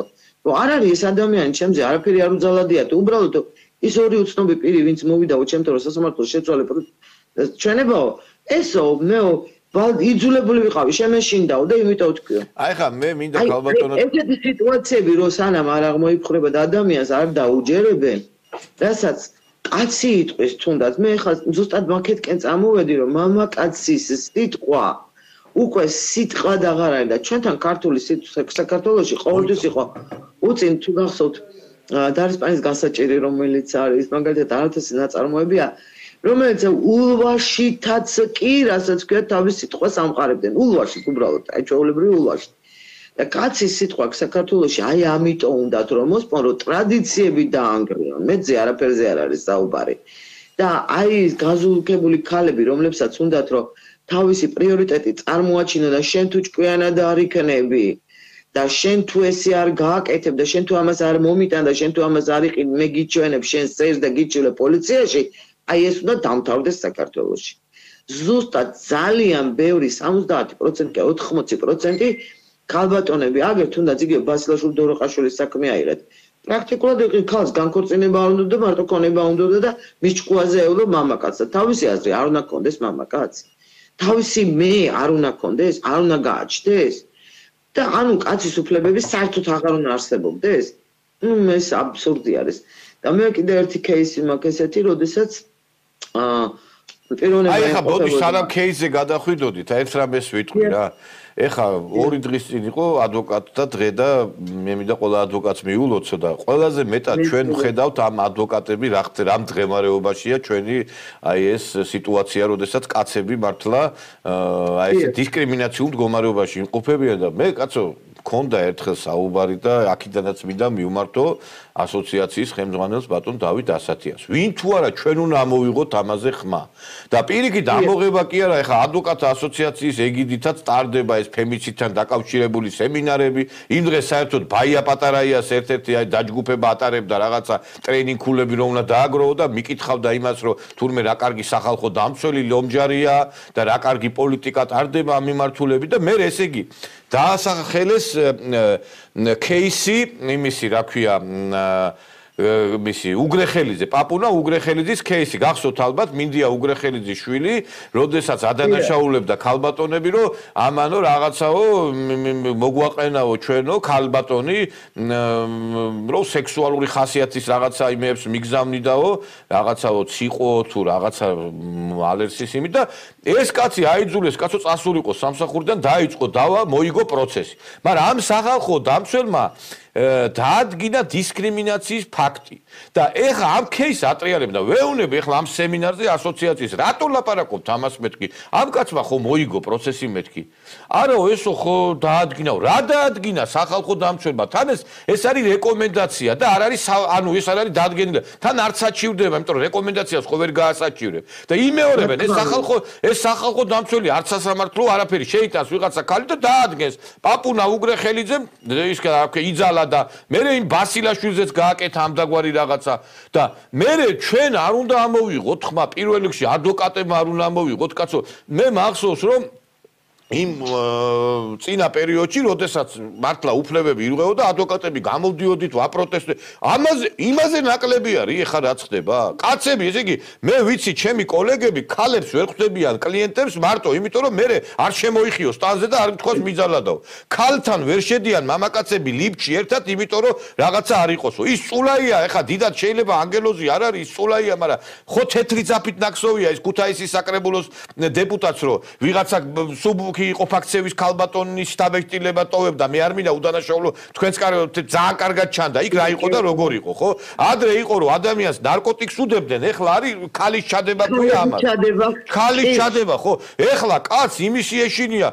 ბოლოს და ბოლოს ეხლა სექსუალური აქტის დროსაც კამერით ხო არ შევართ ლოგინში არა არა ეს უკვე აი სასაცილო კი არა სატირალი არის და აი ჩვენ აი მე მინდა რომ ამ ეთერიდან ამ ასოციაციის ხელმძღვანელს ეხა ეს კაცი არ არის პროფესიით ანუ კვალი ანუ მე ვარ სპეციალიზაციით სისხლის სამართლის სპეციალისტი მაგრამ მის გარშემო ხო არის სპეციალისტები და არაერთხელ დამიყენებია ეგ საკითხი სხვათა შორის. აი იგივე მე ვიყავი სისხლის სამართლის კომიტეტის წევრი და მაშინ ნუ აზრია რაღაცა ხო უნდა აღიმაღლოს ხმა ჩვენ უნდა აღიმაღლოთ ხმა იმიტომ რომ ჩვენ ჩვენ ხედავთ ყველაზე მეტად და ესენი მე გამოდიან და სისულელებს ლაპარაკობენ ეს NGO სექტორი და ეს ტელეწამყვანები და ამიტომ დადგა დრო რომ ამაზე დამოვიღოთ ხმა ხო კი ბატონო. პირველ რიგში ასოციაციამ უნდა ამოიღოს ხმა და თუ არ იღებს ხმერე ხმა, მე ჩდება კითხები რაღაცა, მოდი ალტერნატიული ხო რა თქვენ გინდათ ადვოკატურის დანგრევა ვიღაცა იტყვის. ბიჭო, არაკეთებ იმას, რაც საჭიროა და რა გავაკეთო. ერთი ნაფიცით საჯულთა ინსტიტუტზე არიან ჩაციკრულები, რომელიც არის მე თუ მკითხავ უარგისი სისტემა. იმიტომ რომ ადამიანის ბეწყვეთს ადამიანი რომელიც არ არის საერთოდ და შეიძლება ძალიან მოახდინოს ზომბირება და იმპულსირება და შეიძლება კაცმა გამოიტანოს მკვლელი გაამართლოს ამ პირიქით მოხდეს? ხო და აი ამაზე პირველ რიგში ადვოკატები ადვოკატთა ასოციაციას აქვს აი განგაში ზარები დასაკრავლი მეთანხმებით თუ არა არ ვიცი. კი, გეთახმებით. მე კიდევ ერთ რამეს ვიტყვი, რომ რაც თავარია პარლამენტი იცლის მაპატეთ ხბოების და ღურების კეთილდღეობაზე ზრუნვისათვის კანონების მისაღებად. მაგრამ ჩვენ ადვოკატების ადვოკატთა ასოციაციამ შეიტანა ადვოკატების დაცვის მიზნით და ადვოკატების კეთილდღეობისათვის კანონები. ში რა, მინდა რომ ქალთა მიმართ ძალადობაზე გვაქვს. ეხლა ჩვენ თქვენ ვიცი რომ სხვა იმები მინდა რომ ამ მიმართულებით და მეરે ცალკე მაგაზე გადაცემას გავაკეთებთ იმ პრობლემატიკაზე. უბრალოდ მე მინდა რომ ეს თემაა ჩვენი გადაცემის თემა. კი ბატონო. აა იცით რა არის ადვოკატი იმ ხათუნა ხარჩილობა მოსამართლე ხათუნა ხარჩილობა ძალიან პუნქტუალურად, ძალიან ესე რომ თქვა დაწყობილად კარგად ახსნა თითოეული მუხლის, თითოეული ბრალდების, თითოეული ეპიზოდის მიმართ, რომელიც იყო წარდგენილი, რომელიც სახელმძღვანელო უნდა გახდეს, ყველა პრაქტიკულად მოსამართლესთვის რა არის ძალადობა, რა არის იძულება, რა არის ფსიქოლოგიური ზეწოლა და როდის შეიძლება ელემენტარულად იქნას ეს ყველაფერი წარდგენილი და დადასტურებული. თუ მაგალითად გონირულ ეჭვს მიღმა, როდესაც ვლაპარაკობ ჩვენ, ხო გონირულ ეჭვს მიღმა უნდა იყოს კონკრეტული საკითხები, კონკრეტულად უნდა იყოს და კონკრეტული მითითება. და მარტო ფულის გულისთვის ასეთ ენჯოები ღებულობენ, როგორც ასეთი დაფინანსებას არ უნდა იკადროს ყველამ ყველაფერი, იმიტომ რომ ისევ აქ უნდა ვიცხოვროთ, ისევ აქ უნდა ვიყოთ. და ეს პერიოდი რაღაც აი რაღაც ალბათ ძალიან ცუდი პერიოდი არის იმისთვის, რომ ან შეგნებულად მიმართული არის ყველაფერი იმისკენ, რომ მოხდეს მამაკაცის დისკრიმინირება, დეგრადირება, ფსიქოლოგიური ზეწოლა მამაკაცზე და თავისი ასე ვთქვია, ღირსებების თუ გამოხატვის, ნების გამოხატვის თავისუფლება შეიზღუდულად იგრძნოს და შეიზღუდოს. ეხლა თქვენ დანებით რომ ლიფჩი მარტო ვერ შევსულად ქალადოკა იმას რა ქვია კლიენტს მარტო ვერ შევხვედრილად ნამდვილად ეგრეა დღევანდელ დღეს. მამაკაცებს ეშინი, აი დაშინებულები არიან რომ ხვალდაზე იგივე ძალადობის, ამ ფსიქოლოგიური ძალადობის ან თუნდაც გამოპატიურების მცდელობის და ადვოკატ ან ადევნების მუხლით არ აღიძრან, არ აღუძრან საქმე. რაც აი თვითონ ისე ხელისუფლების წარმომადგენლები ზალარდებიან ეხა ილია ჯიშკარიანი იმისი საკრებულოს დეპუტატს რო უჩიოდა თავის თანაშებზე ხო გახსოვთ რომ შემსეო და ეს კაცი გამოიყვანეს მოძალადე ნაგენ მყავდა აქ სტუდიაში ეს კაცი მოყვანილი რა დღეში ჩააგდეს? და ამ კაცმა მოიგო პროცესი მაგრამ რა თქიდა მე რომ მოიგო რა მაინც მოძალადის სახელი ქონა ის რომ მოიგო არც არავის არ გაუშევკებია წესიერად და აი ესეთი სიტუაცია ესე იგი იმ დღეს კაცო იმისი პოლიციის უფროსი დაიჭირეს პოლიციის უფროსი.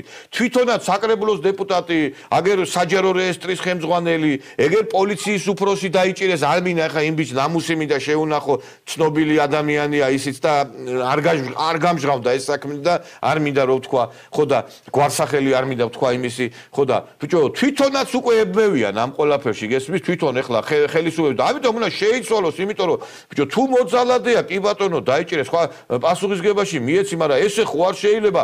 თავარი არის ქალმა თქვას, ერთი შემთხვევა კიდე მინდა გითხრათ რა. აი ზუ ერთი ის იყო შემთხვევა ესეთი ქალბატონმა გამოიძახა პოლიცია გაბრაზ და ქმარზე, აი ნამდვილი ამბავია სამშვილსფიცაო არ არ ვამატებ არაფერი. და უნდოდა რომ დაეჭირა ეს ქმარი. ხო და ამ ქმარს ისე რომ ცოლმა არ იცოდა დაყენებული ქონა სათვალთვალო კამერები რა. ნუ მაშინ ეს კრიმინალი რო იყო ეს იმიტომ დააყენა ვინმე რო არ შემოვიდეს და რაღაცაო და რა სხვა რამის გამო. ხო და მოვიდა პოლიცია უკვე მიყავთ ეს კაცი უნდა დაიჭირონ იმიტომ რომ ქალმა თქვა ჩემზე იძალა და რაღაცა ფიზიკურად რაღაცა იქით აქით ზღაპრები და ამ ამ კაცმა უთხრა ხო იძახისო რომ ეს ამ კაც მეო ვიძალადეო აგერ არის კამერაო მოდიო ეხა ჩავთო თუ აგერ ესაო და თუ ვერამე ვიძალა და წამიყვანეთო ჩართეს იმ პოლიციელებმა არაფერი რო არ იყო მე ამდგდნენ და ეს კაცი დატოვეს იქ. ესე იგი, რომ არ ყოფილიყო ის კამერა იქ, ეს კაცი დღეს ციხეში იჯდებოდა და დღეს იმაზე იქნებოდა. უამრავი შემთხვევა ვიცი, მე კიდე მე ძალიან ბევრი პრაქტიკა და ძალიან აი ყველა ხა მე არ ხშირ მე ხა არ ჟურნალისტი ვარ, უბრალოდ ეს მედიაში, იმიტომ გამოვდივარ, რომ ტრიბუნათან მაქვს ვილაპარაკო პრობლემებზე.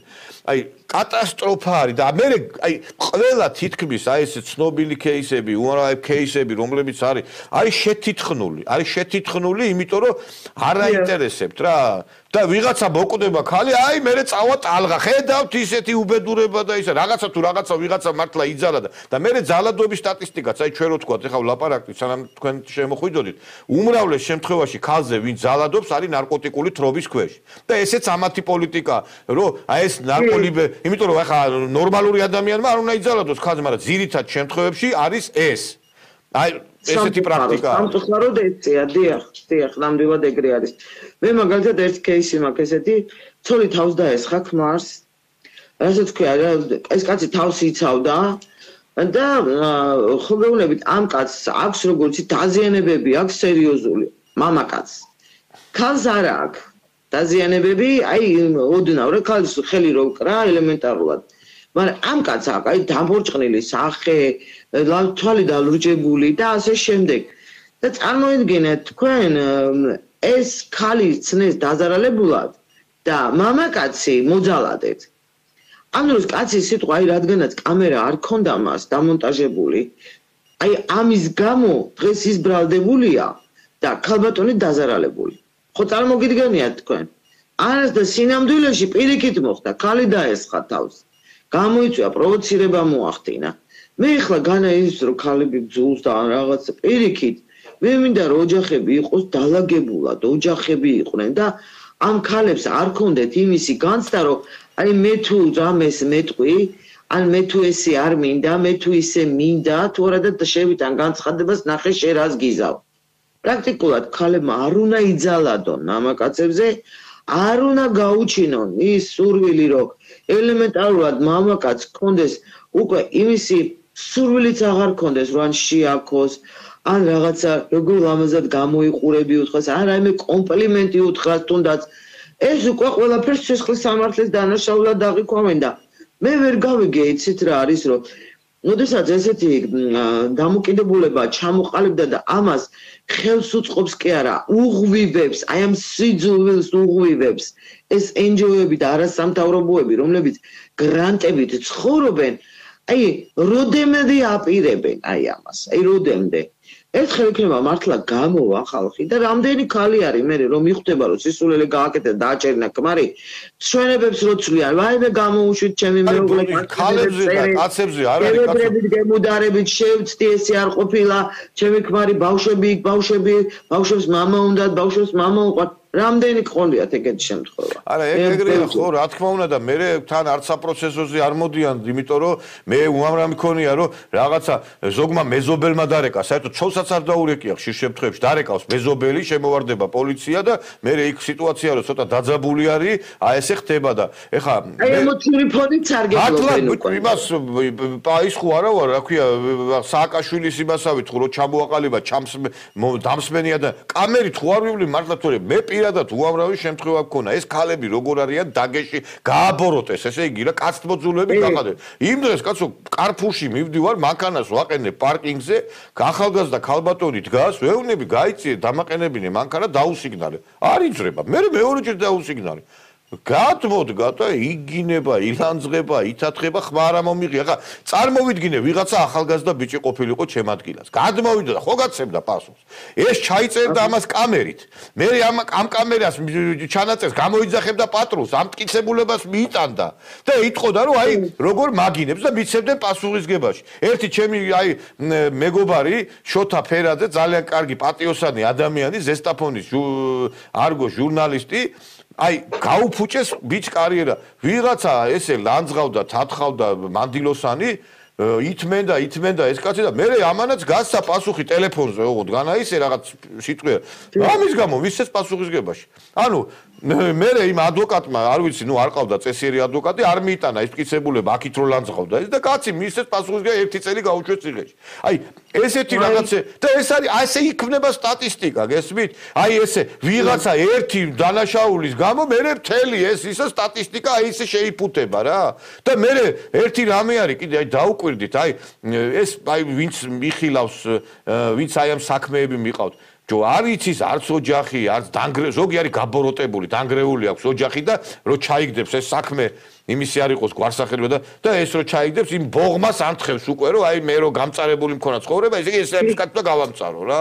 აი ესეთი რაღაცა. რადგანაც მეც არა თვითონაც იცი რა არის ფსიქოლოგიურად ადამიანი როდესაც გაცილებული არის ან რაღაცა არის ხო და ოჯახი დანგრეული აქვს მე გაბოროტებული არის კი. აი გაბოროტებული არის და უკვე რადგანაც თვითონ ეს დღეში იყო და ამ თქვათ რაღაცა ესეთი მოუხდა ამიტომ სხვაც ესე დატონა იყოს უკეთესად. ხო და ალბათ ესეთი ადამიანები ცოტა ისე უნდა იყვნენ განცალკავებული ან საერთოდ არ უნდა იყვნენ და რა ვიცი ხო მე მაგალითად აი ახალგაზრდებში რომლებიც ახლა დღევანდელ დღეს არიან აი 18, 19, 20 წლის ბიჭები, 30 წლამდე ბიჭები, ვინც არიან, ხო? მე ისინი აი პრაქტიკულად მეწოდება, იმიტომ რომ ქალისთვის ყვავილები ვერ მიურთმევიათ, ღამე სიმღერა ვერ უმღერიათ, როგორც ასეთი, ხო, ახო გახსოვთ არა? აი აი აი ამ დონეზე რომ ადამიანი რომ მოიცა ერთი კაცო მე არ მიჩილოს. აი ხო ხვდებით არა? ო მე არ მიჩილოს კაცო ერთი, რა ვიცი მე ვინ არის? აა და როგორ უნდა მოხდეს ახლა აი ყველაფერი ეს ჩემთვის უცნობია რა ეს ახლა იმიტომ ხდება რომ აი საქართველოსში მიდის სოდომიზაციის პროცესი. აი უნდა იყვნენ ესე იგი. გეები უნდა იყვნენ და კაცი აი გეების ქვეყანა უნდათ რომ შექმნან რომ მამაკაცები არ უნდა იყვნენ და ეს მე ეს ვიღაცა ეს გაბოროტებული დანგრეულ ოჯახებიანი ქალბატონები რომ გამოდიან ტელევიზორში იმაშვებიან იმ ლექციებს კითხულობენ რომ აი ქართველი კაცი ცუდი აბა რა ისა და ესა და ოჯახის ის რო არ აქვს ინსტიტუტზე. ხა ოჯახი იმის არის ხანდახან მოხდება უთანხმოება რაღაცა შეკამათებას მოხდება ესე რომ ყველა ოჯახები ანგრიოს კაცო შეკამათებაზე მაშინ ოჯახი აღარ დარჩენილა ხო? აი გაუგებარია ნამდვილად. აი მაკეტკენ მიდის ყველაფერი, რომ სახელმწიფო სახელმწიფო საერთოდ არის ოჯახზე დაფუძნებული და ოჯახი ოჯახიდან გამომდინარე, ხო? სახელმწიფო ძირითადი საყრდენი არის ოჯახი. როგორ ოჯახში ცისდება ადამიანი, ისე ისე იცხოვრებს მე დანარჩენი. აი როგორ დედა ნახე, мама ნახე, შვილი ისე გამონახე, ხო? აი ჩვენთან ეს გამოთქმა არსებობს და უბრალოდ რა არის ცით აი ეს ჩვენი ფიცხი ხასიათი, კავკასიური ხასიათი გასაგებია, მაგრამ ყველაფერი გავიკე. მაგრამ მამაკაცის აი ეს დონეზე, რასაც ქვია, დაყვანა და მით უმეტეს თქვა წეგან გეები ახსენეთ, ეს ეს რა ქვია, წარმომადგენლები, იცით რა არის? მე მაგალითად არავინ არავის ლოგინში არ უხდება, ვისაც რა უნდა ის გააკეთოს, მაგრამ აფიშირება ამისი, რომ მე ესეთი ვარ, რა ხელოვანი არის ვინმე არ მიიღო, პროფესორი არის და ვინმე არ მიიღო, ეს არის ბალერონი არის და ვინმე არ მიიღო, თუ რა? პირიქით ინგუგეცია ეგეთი. ეგეთები არიან უფრო მეტად არის პოლიტიკაში, შოუ ბიზნესში და იმაში და ნორმალური ადამიანები პირიქით დაბლოკილები არიან. რა თქმა უნდა, ელტონ ჯონი ვის არ უყვარს, მითხარით ერთი. ხო უყვართ, ყველას უყვართ. ნუ გასაგებია. ხო, ელტონ ჯონზე ერთმა რო იხუმრა, სხვათა შორის გაუშვეს. მე ყველას უყვარდა, ხო ეგრეა რა. ელტონ ჯონზე ერთმა ხო, ეს იმას არ ნიშნავს და ამიტომ იცით რა არის, ფულის შოვნაზე როცა არის გადასული ადამიანები, მხოლოდ და მხოლოდ და მხოლოდ და მხოლოდ თავის პიროვნების ვითომ და წარმოჩენაზეა წარმოჩენას გადასულები, არ შეიძლება არიაზროვნო სახელმწიფოებრივად შენ ქვეყანას რა მოუხდება, შენი ქვეყნის მომავლისთვის რა კეთდება, ან შენი ქვეყნის მომავლისთვის რა ზაფუჭებ. გასაგები. დიდი მადლობა ქალბატონო თამუნა, დიდი მადლობა და წარმატებებს გისურვებთ პროფესიულ ასპარეზზე და ბევრ გამამართლებელ განაჩენს გისურვებთ. კარგად იყავით. დიდი მადლობა თქვენს ასევე და მამაკაცებს უსურვებ ყოველივე კარგს. შეინარჩუნონ თავისი პატივი ღირსება ქართული კაცური, ვაშკაცური და ყოველთვის იყვნენ ისეთები, როგორიც უნდა იყვნენ. როგორც ქართულ კაც შეეფერება. კარგად ბრძანდებოდეთ, კარგად ბრძანდებოდეთ, ჩვენი სტუმარი იყო ქალბატონი თამუნა ქუთათელაძე. ჩვენ ახლა სარეკლამო ჭრაზე გავალთ ვირფოს ტელემაყურებლებო არ გადართოთ დარჩი ტელეკომპანია სეზონზე. ძალიან მალე დაგიბრუნდებით.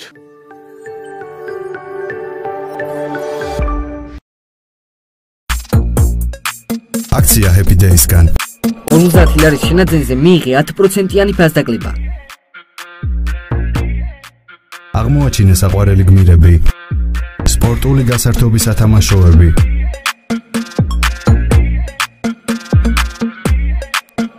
გაუცოცხლეთ ბავშვებს ფანტაზია, საკოლექციო მანქანები, ყველაფერი რაც ბავშვებს გაახალისებს.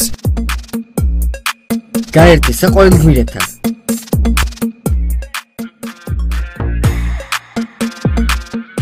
ხარისხი ჩვენი არჩევანია. სათამაშო იარაღები. გორი, გურამიშვილის ნომერი 1. გელოდებით.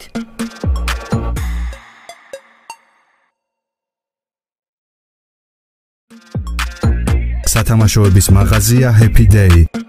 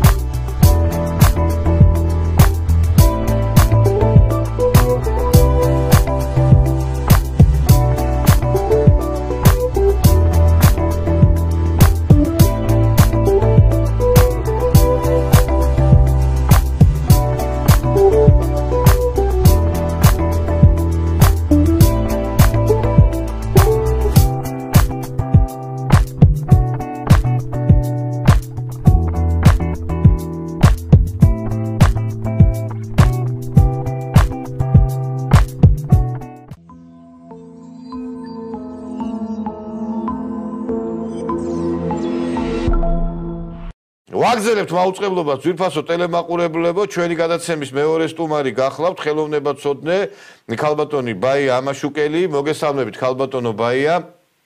მოგესალმებით ბატონო نيكოლოზ მადლობელი ვარ ეთერის დათმობისთვის. აი მე დღეს სპეციალურად შევარჩიე ქალბატონები იმ თემისთვის რომელზეც საუბრობთ იმიტომ რომ მინდოდა რომ აი თქვენგან წამოსულიყო ეს პოზიცია, აი ხედავ თქვენ ალბათ ტელეეთერებშიც, მედიაშიც, საზოგადოებაშიც, რომ შეიქმნა ესეთი აზრი, რომ ესე იგი ქართველი კაცი არის მოძალადე, ამას ამტკიცებს ყველა მედია საშუალება, NGO-ები, რაღაცა ფემიციდისთან დაკავშირებული რაღაც საკითხები არის, თითქოს ესე იგი ისე აკერავენ ყველაფერს, რომ აი ეს 21 საუკუნე, იმიტომ იყო რომ აი ეს არ ამჟღავნდებოდა, რომ ჩუმად იყო ხალი და ეხა ეს დასავლური დემოკრატია პარტია რო შემოვიდა ჩვენში, ეხლა იფეთქა ამ ყველაფერმა ახალი კურსით და ანუ აღარ ეშინია ქალს და ამოიღო ხმა აქამდე რო ჩუმად იყო. აი როგორ უყურებთ ამ ყველაფერს, როდესაც აი გვეუბნებიან რომ აი ესე იგი თითქოს ეს ვიდეო პატრულებად ხო გადაიქცა ყველა გადაცემა და ვითომ ადრე ან სადმე არ ხდებოდა დანაშაული და ვითომ კაცი კაც არ კლავს ხალი ვითომ ვითომ აქით არ ხდება დანაშაულებები და ესე იგი რაღაცა რომ მოხდება დანაშაული იმ წუთას ისტერია واردება აი კაცები არიან მოძალადეები არიან კაცები ესე იგი ხალები არ უყვართ საქართველოსი ხალები არ უყვართ. აი ეს стереოტიპი მკვიდრდება და ამას ამკვიდრებს დასავლეთიდან ამერიკიდან დაფინა ფინანსებული აი ეს ზონდე ფემინისტური ჯგუფები ბაია პატარაიების ანა აბაშიძე თამადობი სხვათაშორის ეს ქალბატონი ახლა იყრის კენ სახალხო დამცველობაზე და აი რა სიტყოდით ამის შესახებ აი ძალიან საგანგაშო სიტუაცია. 80% ქალბატონო ბაია ციხეში ზის აბსურდული ბრალდებით აი ამ ოჯახურ ძალადობებზე და აი ამ ქალთამიმარ ძალადობებზე. ხა მე არ ვიცი რომ ყველა არის აქ ხა ანგელოზი ხო? მაგრამ უმრავლეს შემთხვევაში აი 80% მართლა აი ძალით შეკერილი საქმე არის. ბატონ ნიკოლოზ, ისიც რა არის? აი მე ვთვლი რომ ხა ეს ხუმრობით გინდათ მიიღეთ რომ მალე ალბათ დრო დადგება რომ ჩვენ მამაკაცთა დაცვის საზოგადოება რაღაცა ესე უფლებათა დაცვის იმიტომ რომ მე 6 შვილი შუნო ყავს და აქეთან 5 ბიჭი ახლა ჩვენ საერთოდ პატრიარქალურ გარემოში ვიზდებოდით და თქვენ ახლა სტიკაროსენ ძანდები და მოგეხსენებათ ხო რომ იწება мама ძესული წმინდა და მოდის ახლა ქალის პატივისცემა რომ ყოველთვის იყო ჩვენთან და ეს რომ რაღაცა მოგონილი ის არის და მე გუშინ Facebook-ში ვნახე რომ უბრალოდ ტელევიზორს აღარ ვუყურებ და გამაკვირვა ერთმანამ რომ ის ყველა ქალბატონი საკმაოდ ისეთი ლამაზი და კარგი გარეგნობის გადაცემის წამყვანი აი იმედზე იმედზე დიახ მე მადგან აი ძალადობაზე და ფიზიკურ და ძალადობაზე. იმდენად რომ სიკვდილი რომ მოყვებოდა ის ისეთ ფიზიკურ ძალადობაზე რეაქცია არ მინახავს. მათი გამოხატული როდესაც მართლა ფიზიკურად სიცოცხლის საფრთხეს უქმნიდა სააკაშვილი ესენი სხვა თემა იყო იმ დროს ეს არისო მე მეორე იქ ახალგაზრდა გოგონა იყო რომელიც აი აღშფოთებული საუბრობდა იმაზე რომ მას უნდა მოკლეკაბას ჩაისმეს უნდა პომადას ასე შემდეგ. არავინ არავის არაფერს არ უშლის მაგრამ მოდი მეორენაირად შევხედოთ, რომ ჯერ კარგია, ოდესაც მე ვფიქრობ, დასაფასებელია, რომ მამაკაცმა თუ ქალს თვალი გააყოლა და არა კაც ეს უკვე რაღაცას ნიშნავს ჩვენ უბედურ საზოგადოებაში. ეგ ხო იცი ერთხელ мама мама მითხრა ერთხელ რომ ისაო შვილო მე ვთხარი რა ეხსარებაზე ხა მე არ არის დასამალი ხა ახსარებას არავინ არ იძახის პირდაპირ ეთეში ეხა ისეთი რაღაცა არ არ მithქვია რომ ეხა დავმალო ეგა ეხა სხვა და არც მაგ არაფერი დასამალი ისეთ ცოდვა არ მაქვს რომ დავმალო ხო და мама მეთქი აი თვალი გამირბის მეთქი ქალებისკენ მეთქი და კიდე კარგია შვილო კაცებისკენ არ გაგიფის კალთვალიო და აი დადგა ერთდროს ხო და ეხა ჩვენთან ეს უკვე იცვლება. ეს დაჟიდებული გზერა არის ერთი თქვა იცით რომ ეს გოგონა ფაქტიურად გამოხატავდა იმ პოზიციას რომ აი გამოხატვის უფლება არის და რაც უნდა ის უნდა გააკეთოს ქალმა. გასაგები არავინ არ უშვის დავიწყოთ იქიდან რომ მაგისტრის არსებობდა სპეციალური ადგილები ადრე როგორც იყო ცირკთან საფრანგეთში სხვადასხვა დაწესებულებები სახელი ქვია მაგას და რუსთაველს კიდევაც კონკრეტული სახელი ქონდა დარქმეული ესეთი მანდილოსნისთვის, მაგრამ დაუშვათ ხა რა უყოს ახრას მამაკაცმა ესე დროს, როდესაც ჩვენ გვიწერია რომ თანასწორი ვართ სქესის, ამის, იმის, იმის, ანუ მამაკაცაც რაღაცა უფლება უნდა დაუტოვოთ, ხო ეგრე გამოდის. რატომ არ არის საუბარი იმ ძალადობაზე, რომელსაც სისტემატიურად ტელემედიებით ეწევიან ჟურნალისტები. ეს არ არის ძალადობა? ძალიან მაინტერესებს მე. ის დაუშვათ ის რაღაცების თავს მოხვევა, რაც მიუღებელია საზოგადოებისთვის. არ არის ძალადობა? როდესაც აი მე ღიათ მოყვები ხა ფაქტს არც დამიმალავს, დავწერე კიდევაც Facebook-ში და არც ჯარიმის შემეშინდა, ძალიან ბევრი ხალხი იყო ტაბიძეზე მოვდიოდი სამსახურიდან, იქ პატარ-პატარა მაგიდები ტურისტებისთვის გამზადებული ორი გოგონა ისდა. და რო ჩავიარე ეს ორი გოგონა ტუჩებში, აი ლამის კუჭის წვენის ამოცლით კოცნი და ერთმანეთს კუჩაში, იქვე ასაკიანზე არის სკოლა. ну იმდენად ვეღარ შევიკავე თავი რო დამიბნევდა თვალ მივედი და ვეკითხები ჯერო კითხე ქართველები ხართ მეთქი და თან გუნებაში ვლოცულობდი რომ ღმერთო ეხა ამან არ მითხრას რომ ქართველები რომ მოგწებოდი არა ვარ არა ვარ ქართველები ну მივხვდი რომ ან უკრაინელი ან რუსია და იქ უკვე გამეხსნა მთლიანად და თუ კი რამე მახსოვდა ინგლისური რომ ამორალეს ვეძახე რომ თორე ჩვენში არ ხდება ეგეთები თქვენც ახლა გაიკვირეთ ქართველები უარეს აკეთებენ კიდე. ნუ სამარცხვინოთ მაგრამ ყოველ შემთხვევაში მე ვფიქრობ რომ იცით რა უნდა დაესვას წერტილი ამ რაღაცა კუდის ქიცინის პოლიტიკას რომ აქ არის საქართველოს ჩვენ უნდა დავსვათ წერტილი ერთხელ და სამუდამოდ რომ აქ ესეთი საზოგადოება ცხოვრობს ტრადიციული კონსერვატული ვისაც არ მოწონს აგერ ვიზების ლიბერალიზაცია მიღებული აქვს და შეუძლებს წავიდნენ სადაც უნდა აცრილები ნახევარი საქართველოს და არ შეეშინდებათ მაგისი და დაგწოვონ ბატონო ჩვენ ეს ბნელები რა ქვია გრუზინები და ისინი საკმაოდ ისეთ ჩვენ ხო აი მე რა მე რა იცით ქალბატონო ბაია აი ამ ხელისუფლებამ უკვე დაიწყო ისე ლაპარაკი ჩვენ რო გვიდოდა ანუ ამერიკის მიმართ პოლიტიკა შეცვალეს ხო? და ბიჭო რაღაცეებში ვეთანხმებით რა თქმა უნდა და ამაშიც შეცვალოთ რომ აი ეს არის ერის გენოფონდის გამანადგურებელი პოლიტიკა რომ სტამბოლის კონვენციას რომ მოვაწერეთ ხელი იქ არის იმ 12 პუნქტიან გეგმას რო გვთავაზობენ რომ შეასრულეთო იქ არის სხვათა შორის აი ამ ფემიციდთან დაკავშირებული საკითხები ანუ იქაც ითხოვენ კიდე ხო არის ახლა 80 კიდე მეტი კაცი დაიჭირეთ ციხეშიო ვითომ ეს 100 მილიონი და მაინტერესებს ერთი ეს შარვალ ჩახტილი ჯაფარიძე წავა ომში მერე თუ ისწავა რა ქვია ეს მეგრელიშვილი ნარკომანი რომელიცაც ეს სახელმწიფო მედია ძალიან დიდ რეკლამას უკეთებს სხვათა შორის მიიყვანენ იქ აი პოსტივიზე და ის ქალბატონი ეცეკვება იმას ვითომ ახლა რომელი სუხიშვილების მოცეკვავე მყავდეს ეს მეგრელიშვილი და რამითი რაღაც პიარს უკეთებენ გესმით? და არ უნდა ამოიღოს ამ ხელისუფლებამაც ხმა რომ დაასრულდეს ეს დიქტატი. ეს აი ზონდერ ფემინისტური ფაშისტური დიქტატი იმიტომ რომ აგერ მინდია უგრეხელიძის შვილი შეიწირა ამან აგერ შეიწირა ქართული ოცნების საკრებულოს დეპუტატი ილია ჯიშკარიანი შეიწირა აგერ ბასილაშვილი რომელმაც თამაში ვეღარ მოიგო და კარიერა დაუნგრიეს ამ ამ ბატონს. შეიწირა უამრავი ქართველი კაცის შეიწირა უკვე იმიტომ რომ ადამიანებს უნგრევენ ცხოვრებას გესმით?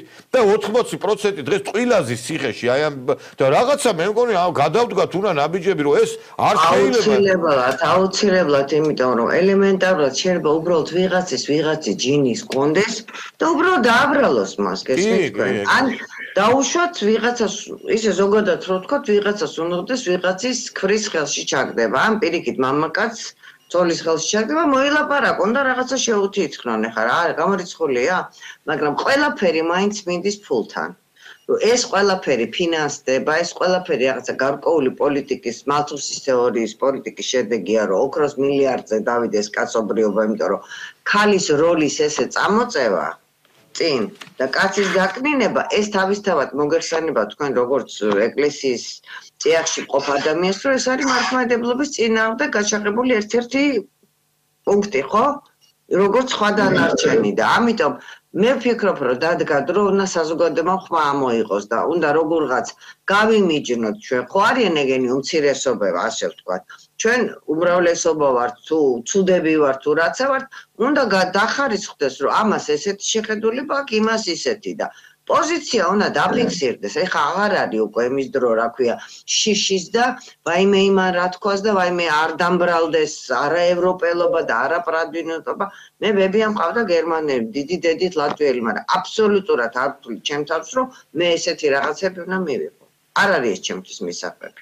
აი, იცით, თქვენ აი ხა საუბრობთ რომ ფულზე არიანო გაყიდულებიო, მაგრამ ბიჭო, ესენი გავიგე რომ ფულზე არის გაყიდულები, მაგრამ ხელისუფლებამ ხო შვილები ყავთ. ეხა დღეს უკვე ქალები მაგალითად დედები იმას ფიქრობენ, რომ აი რაღაცა სვერპლი არ გახდნენ აი ესეთი ქალბატონების, რომლებსაც შეუძლიათ რომ მერე ციხეში გაუშვან თავიანთი შვილები.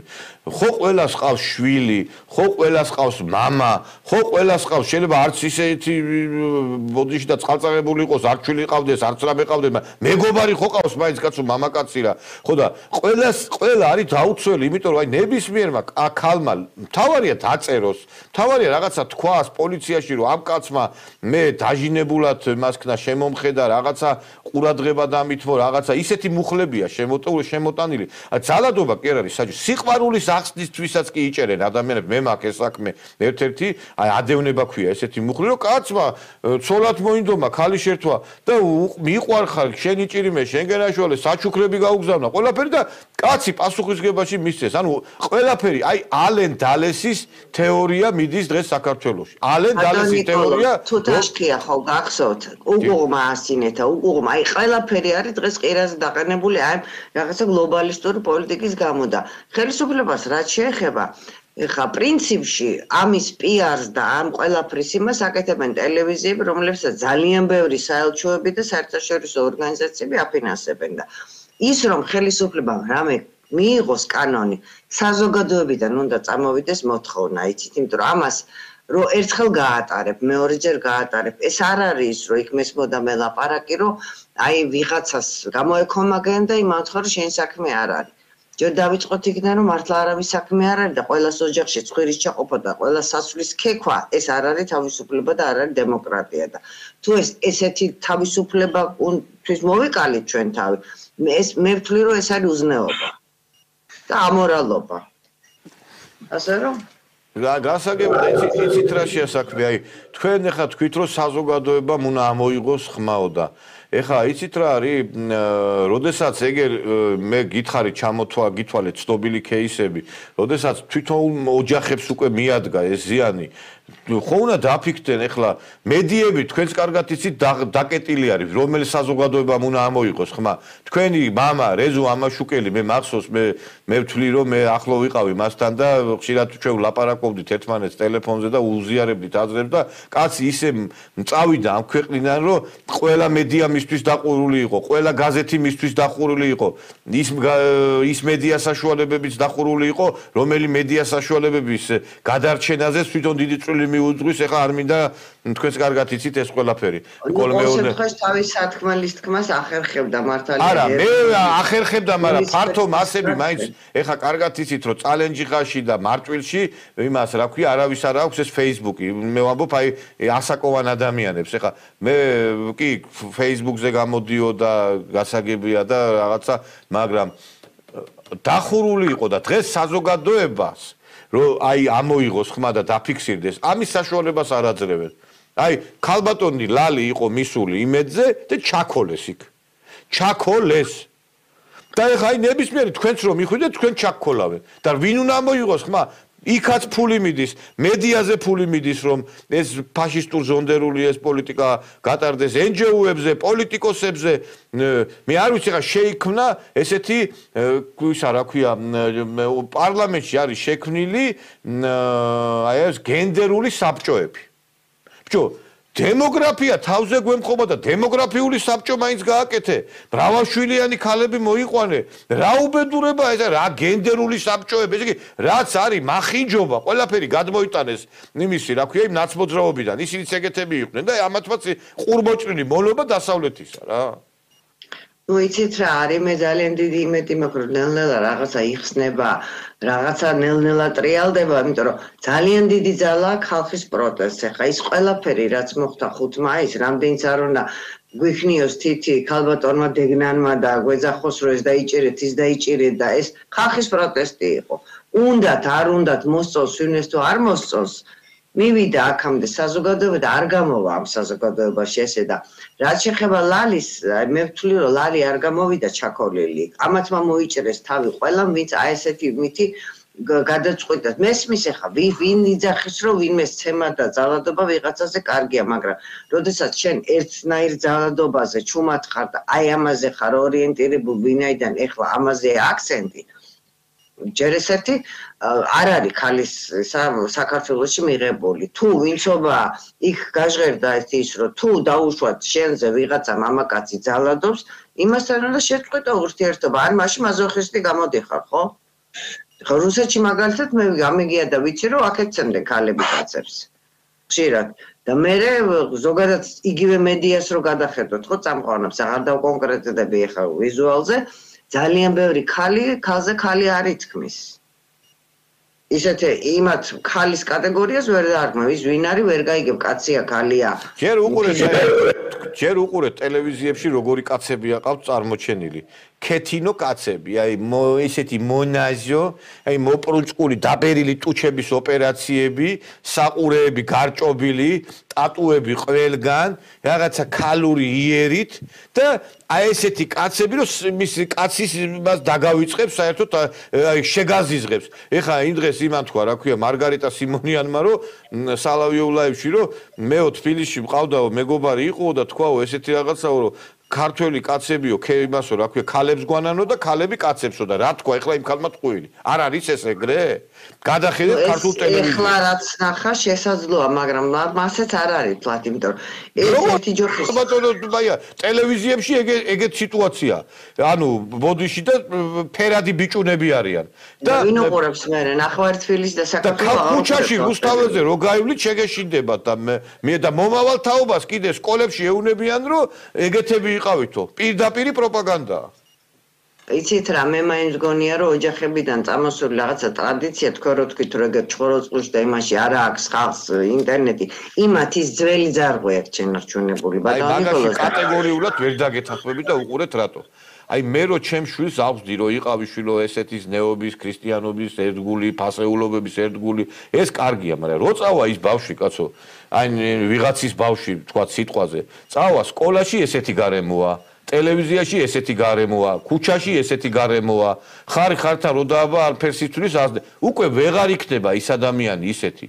და ის შეგონება შვილს მშობელი შვილს უჯერებს რაღაცა კი გასაგებია ბოლომდე უნდა დაუჯეროს, მაგრამ გარემოში რო ხდება თქვენ ხო კარგად იცით რომ იყო ჩვენი ისტორიის მანძილზე მოწამლული გარემო, სადაც ვაგინებდით ამ რუსებს, ძილს რუსეთის იმპერია და რა მივიღეთ აქიდან. ანუ გარემოს აქვს. ეხლა არის სოდომისტური გარემო, პირდაპირ თქვა ამ ქვეყანაში. ამიტომ საჭიროა მე. ამიტომ მე არ უშველის, ეგ შობლის შეგონება ვერ უშველის. ბევრს როგორია. არა, მაგ არ უშველის. ჩემი შვილი ესეთ იქნება, ვერ იქნება ეგ. არც უჯერებენ შობლებს და სულ ინტერნეტში ესეთ რაღაცები ხდება, რომ იქ ბავში არ არის და. არა, თვითონაც ამომე, როდი შაძაღდება ჩვენი მომავალი თაობაო. მაგათი მიზანი სოროსმა ხო თქვა, მეო თქვენთან კი არ მაქვს სასაუბრო, თქვენ შვილებთან ამ მაქვს სასაუბრო. და დაი აბა გაი აბა აბა აბა გადაიხედეთ ყველა ხაჭოს გებელსფაც იგივე თქვა იცი ხო ყველა უნივერსიტეტები აქვთ ამ ნაციონალებს ამ გიული ალასანიას ამ იმას რა ქვია კავკასიის უნივერსიტეტი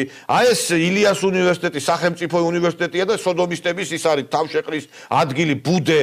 და ყველა უნივერსიტეტები არის ამათხელში და რა უნდა ვინ ვინ უნდა გაიზარდოს მაინტერესებს ამას უნდა პროტესტი, საზოგადოების პროტესტი და ხშირად იმის და გადალახვა იმ შიშის ძალიან ბევრს აქვს იმის კომპლექსი რომ ვაი და რაღაცა თქვას, მე ან არ ოსტრაკიზმი ანუ გაარიყვა საზოგადოებისგან მათი არ მოხდეს და არ დაბრალდეს რომ არ არის არაპრადვინუტი, გესმით თქვენ? ეს არის პრადვინუტის და პროევროპელობის ერთ-ერთი მახასიათებელი, ისევე როგორც ცოტა ხნის წინ ჰელოვინის რაღაცა საშინელებებში რომ გამოეწყნა და გამოიყვანეს ბავშვები. აი ეგ რა იყო მითხარით გეგი.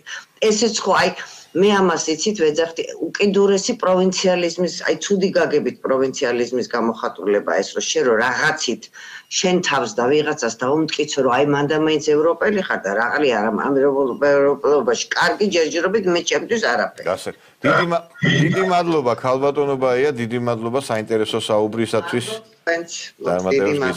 ჩვენ ჩვენი სტუმარი გახდათ ხელოვნებაცოდნე ქალბატონი ბაი ამაშუკელი. ეხა ჩვენ სარეკლამო ჭრაზე გავართ არ გადართოთ ტელეკომპანია სეზონზე დარჩით მალე დაგიბრუნდებით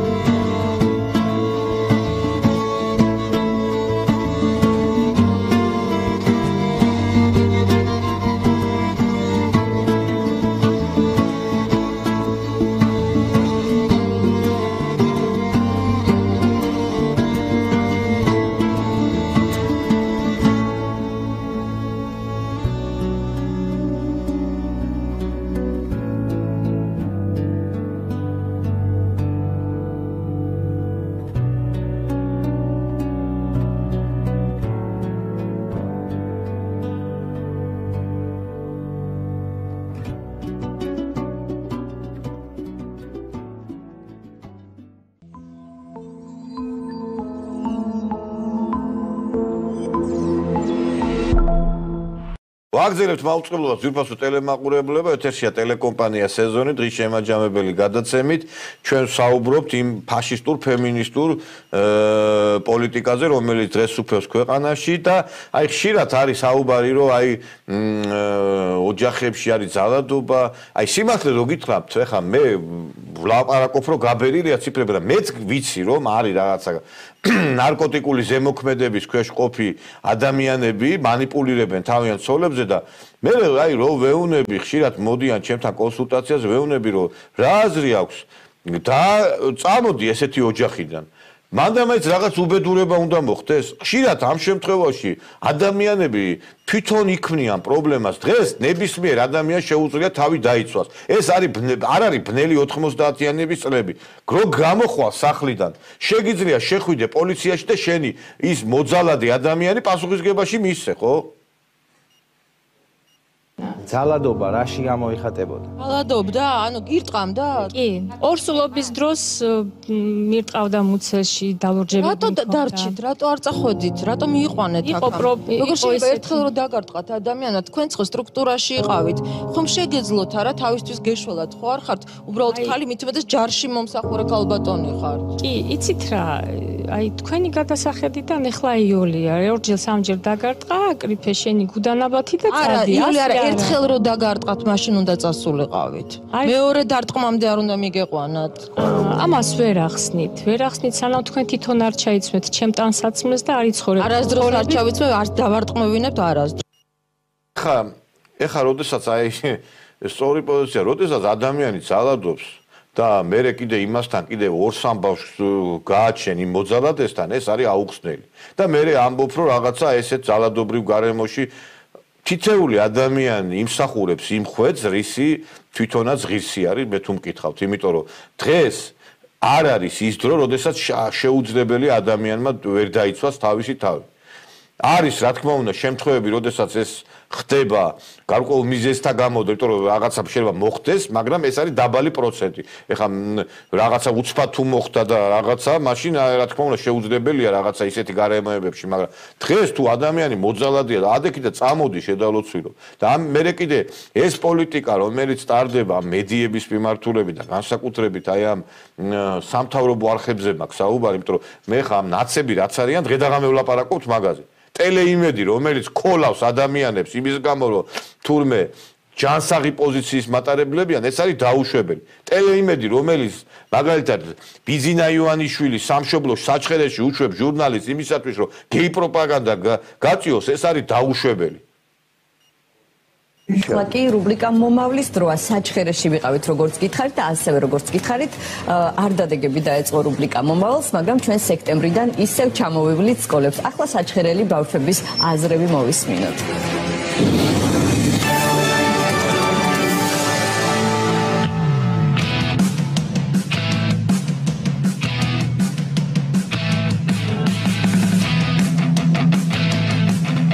რამდენიმე დღის წინ იყო დემნა გვასალიას ჩვენება. საზოგადოების ნაწილმა გაიგო რომ დემნა არის გეი. თუ აქამდე იყო ის რომ დემნა ჩვენიანია, რა მაგარია, რა კარგია, ეხა წავიდა ესეთი კამპანია რომ ვაიმე ქმარი, რა ქმარი, რატომ? გაღელვებთ დემნა გვასალიას, თუნდაც დემნა გვასალიას პირადი ცხოვრება? ის აჟიოტაჟი რაც ამ ამბავმა გამოიწვია, ჩემთვის პირადად მიუღებელია, ვინაიდან არის გეი, იყოს გეი, არ არის, ჩემ მე არ მეხება, არც ხას არ ეხება. ჩემი აზრით ქართველ კაცს გინდა ამერიკა იყოს და გინდა გერმანია და გინდა იტალია, ყველგან უნდა გაყვეს ქართული სულისკვეთება და ნამდვილად არ უნდა შეიხოს ასეთ თემას. მისი ორიენტაცია ვერ გადაწონის იმ საქმეს, რაც საქართველოს გაუკეთა. ჩემი აზრით ეს თემაც არ არის ის ამ სასწორს დასადები ესე ვთქვათ. ათასჯერ რომ დამჭირდეს, მაინც ათასჯერ ვიტყვი, რომ აი ესეთი უმსგავსოება უნდა აი აიგზავნოს რა. და თუ ყავს ამ პატრონი ამ ტელევიზიებს და ამ საერთოდ ამ რა ვიცი მე ვინმე არის პატრონი მიხედეთ ამ ამ სიტუაციას რა.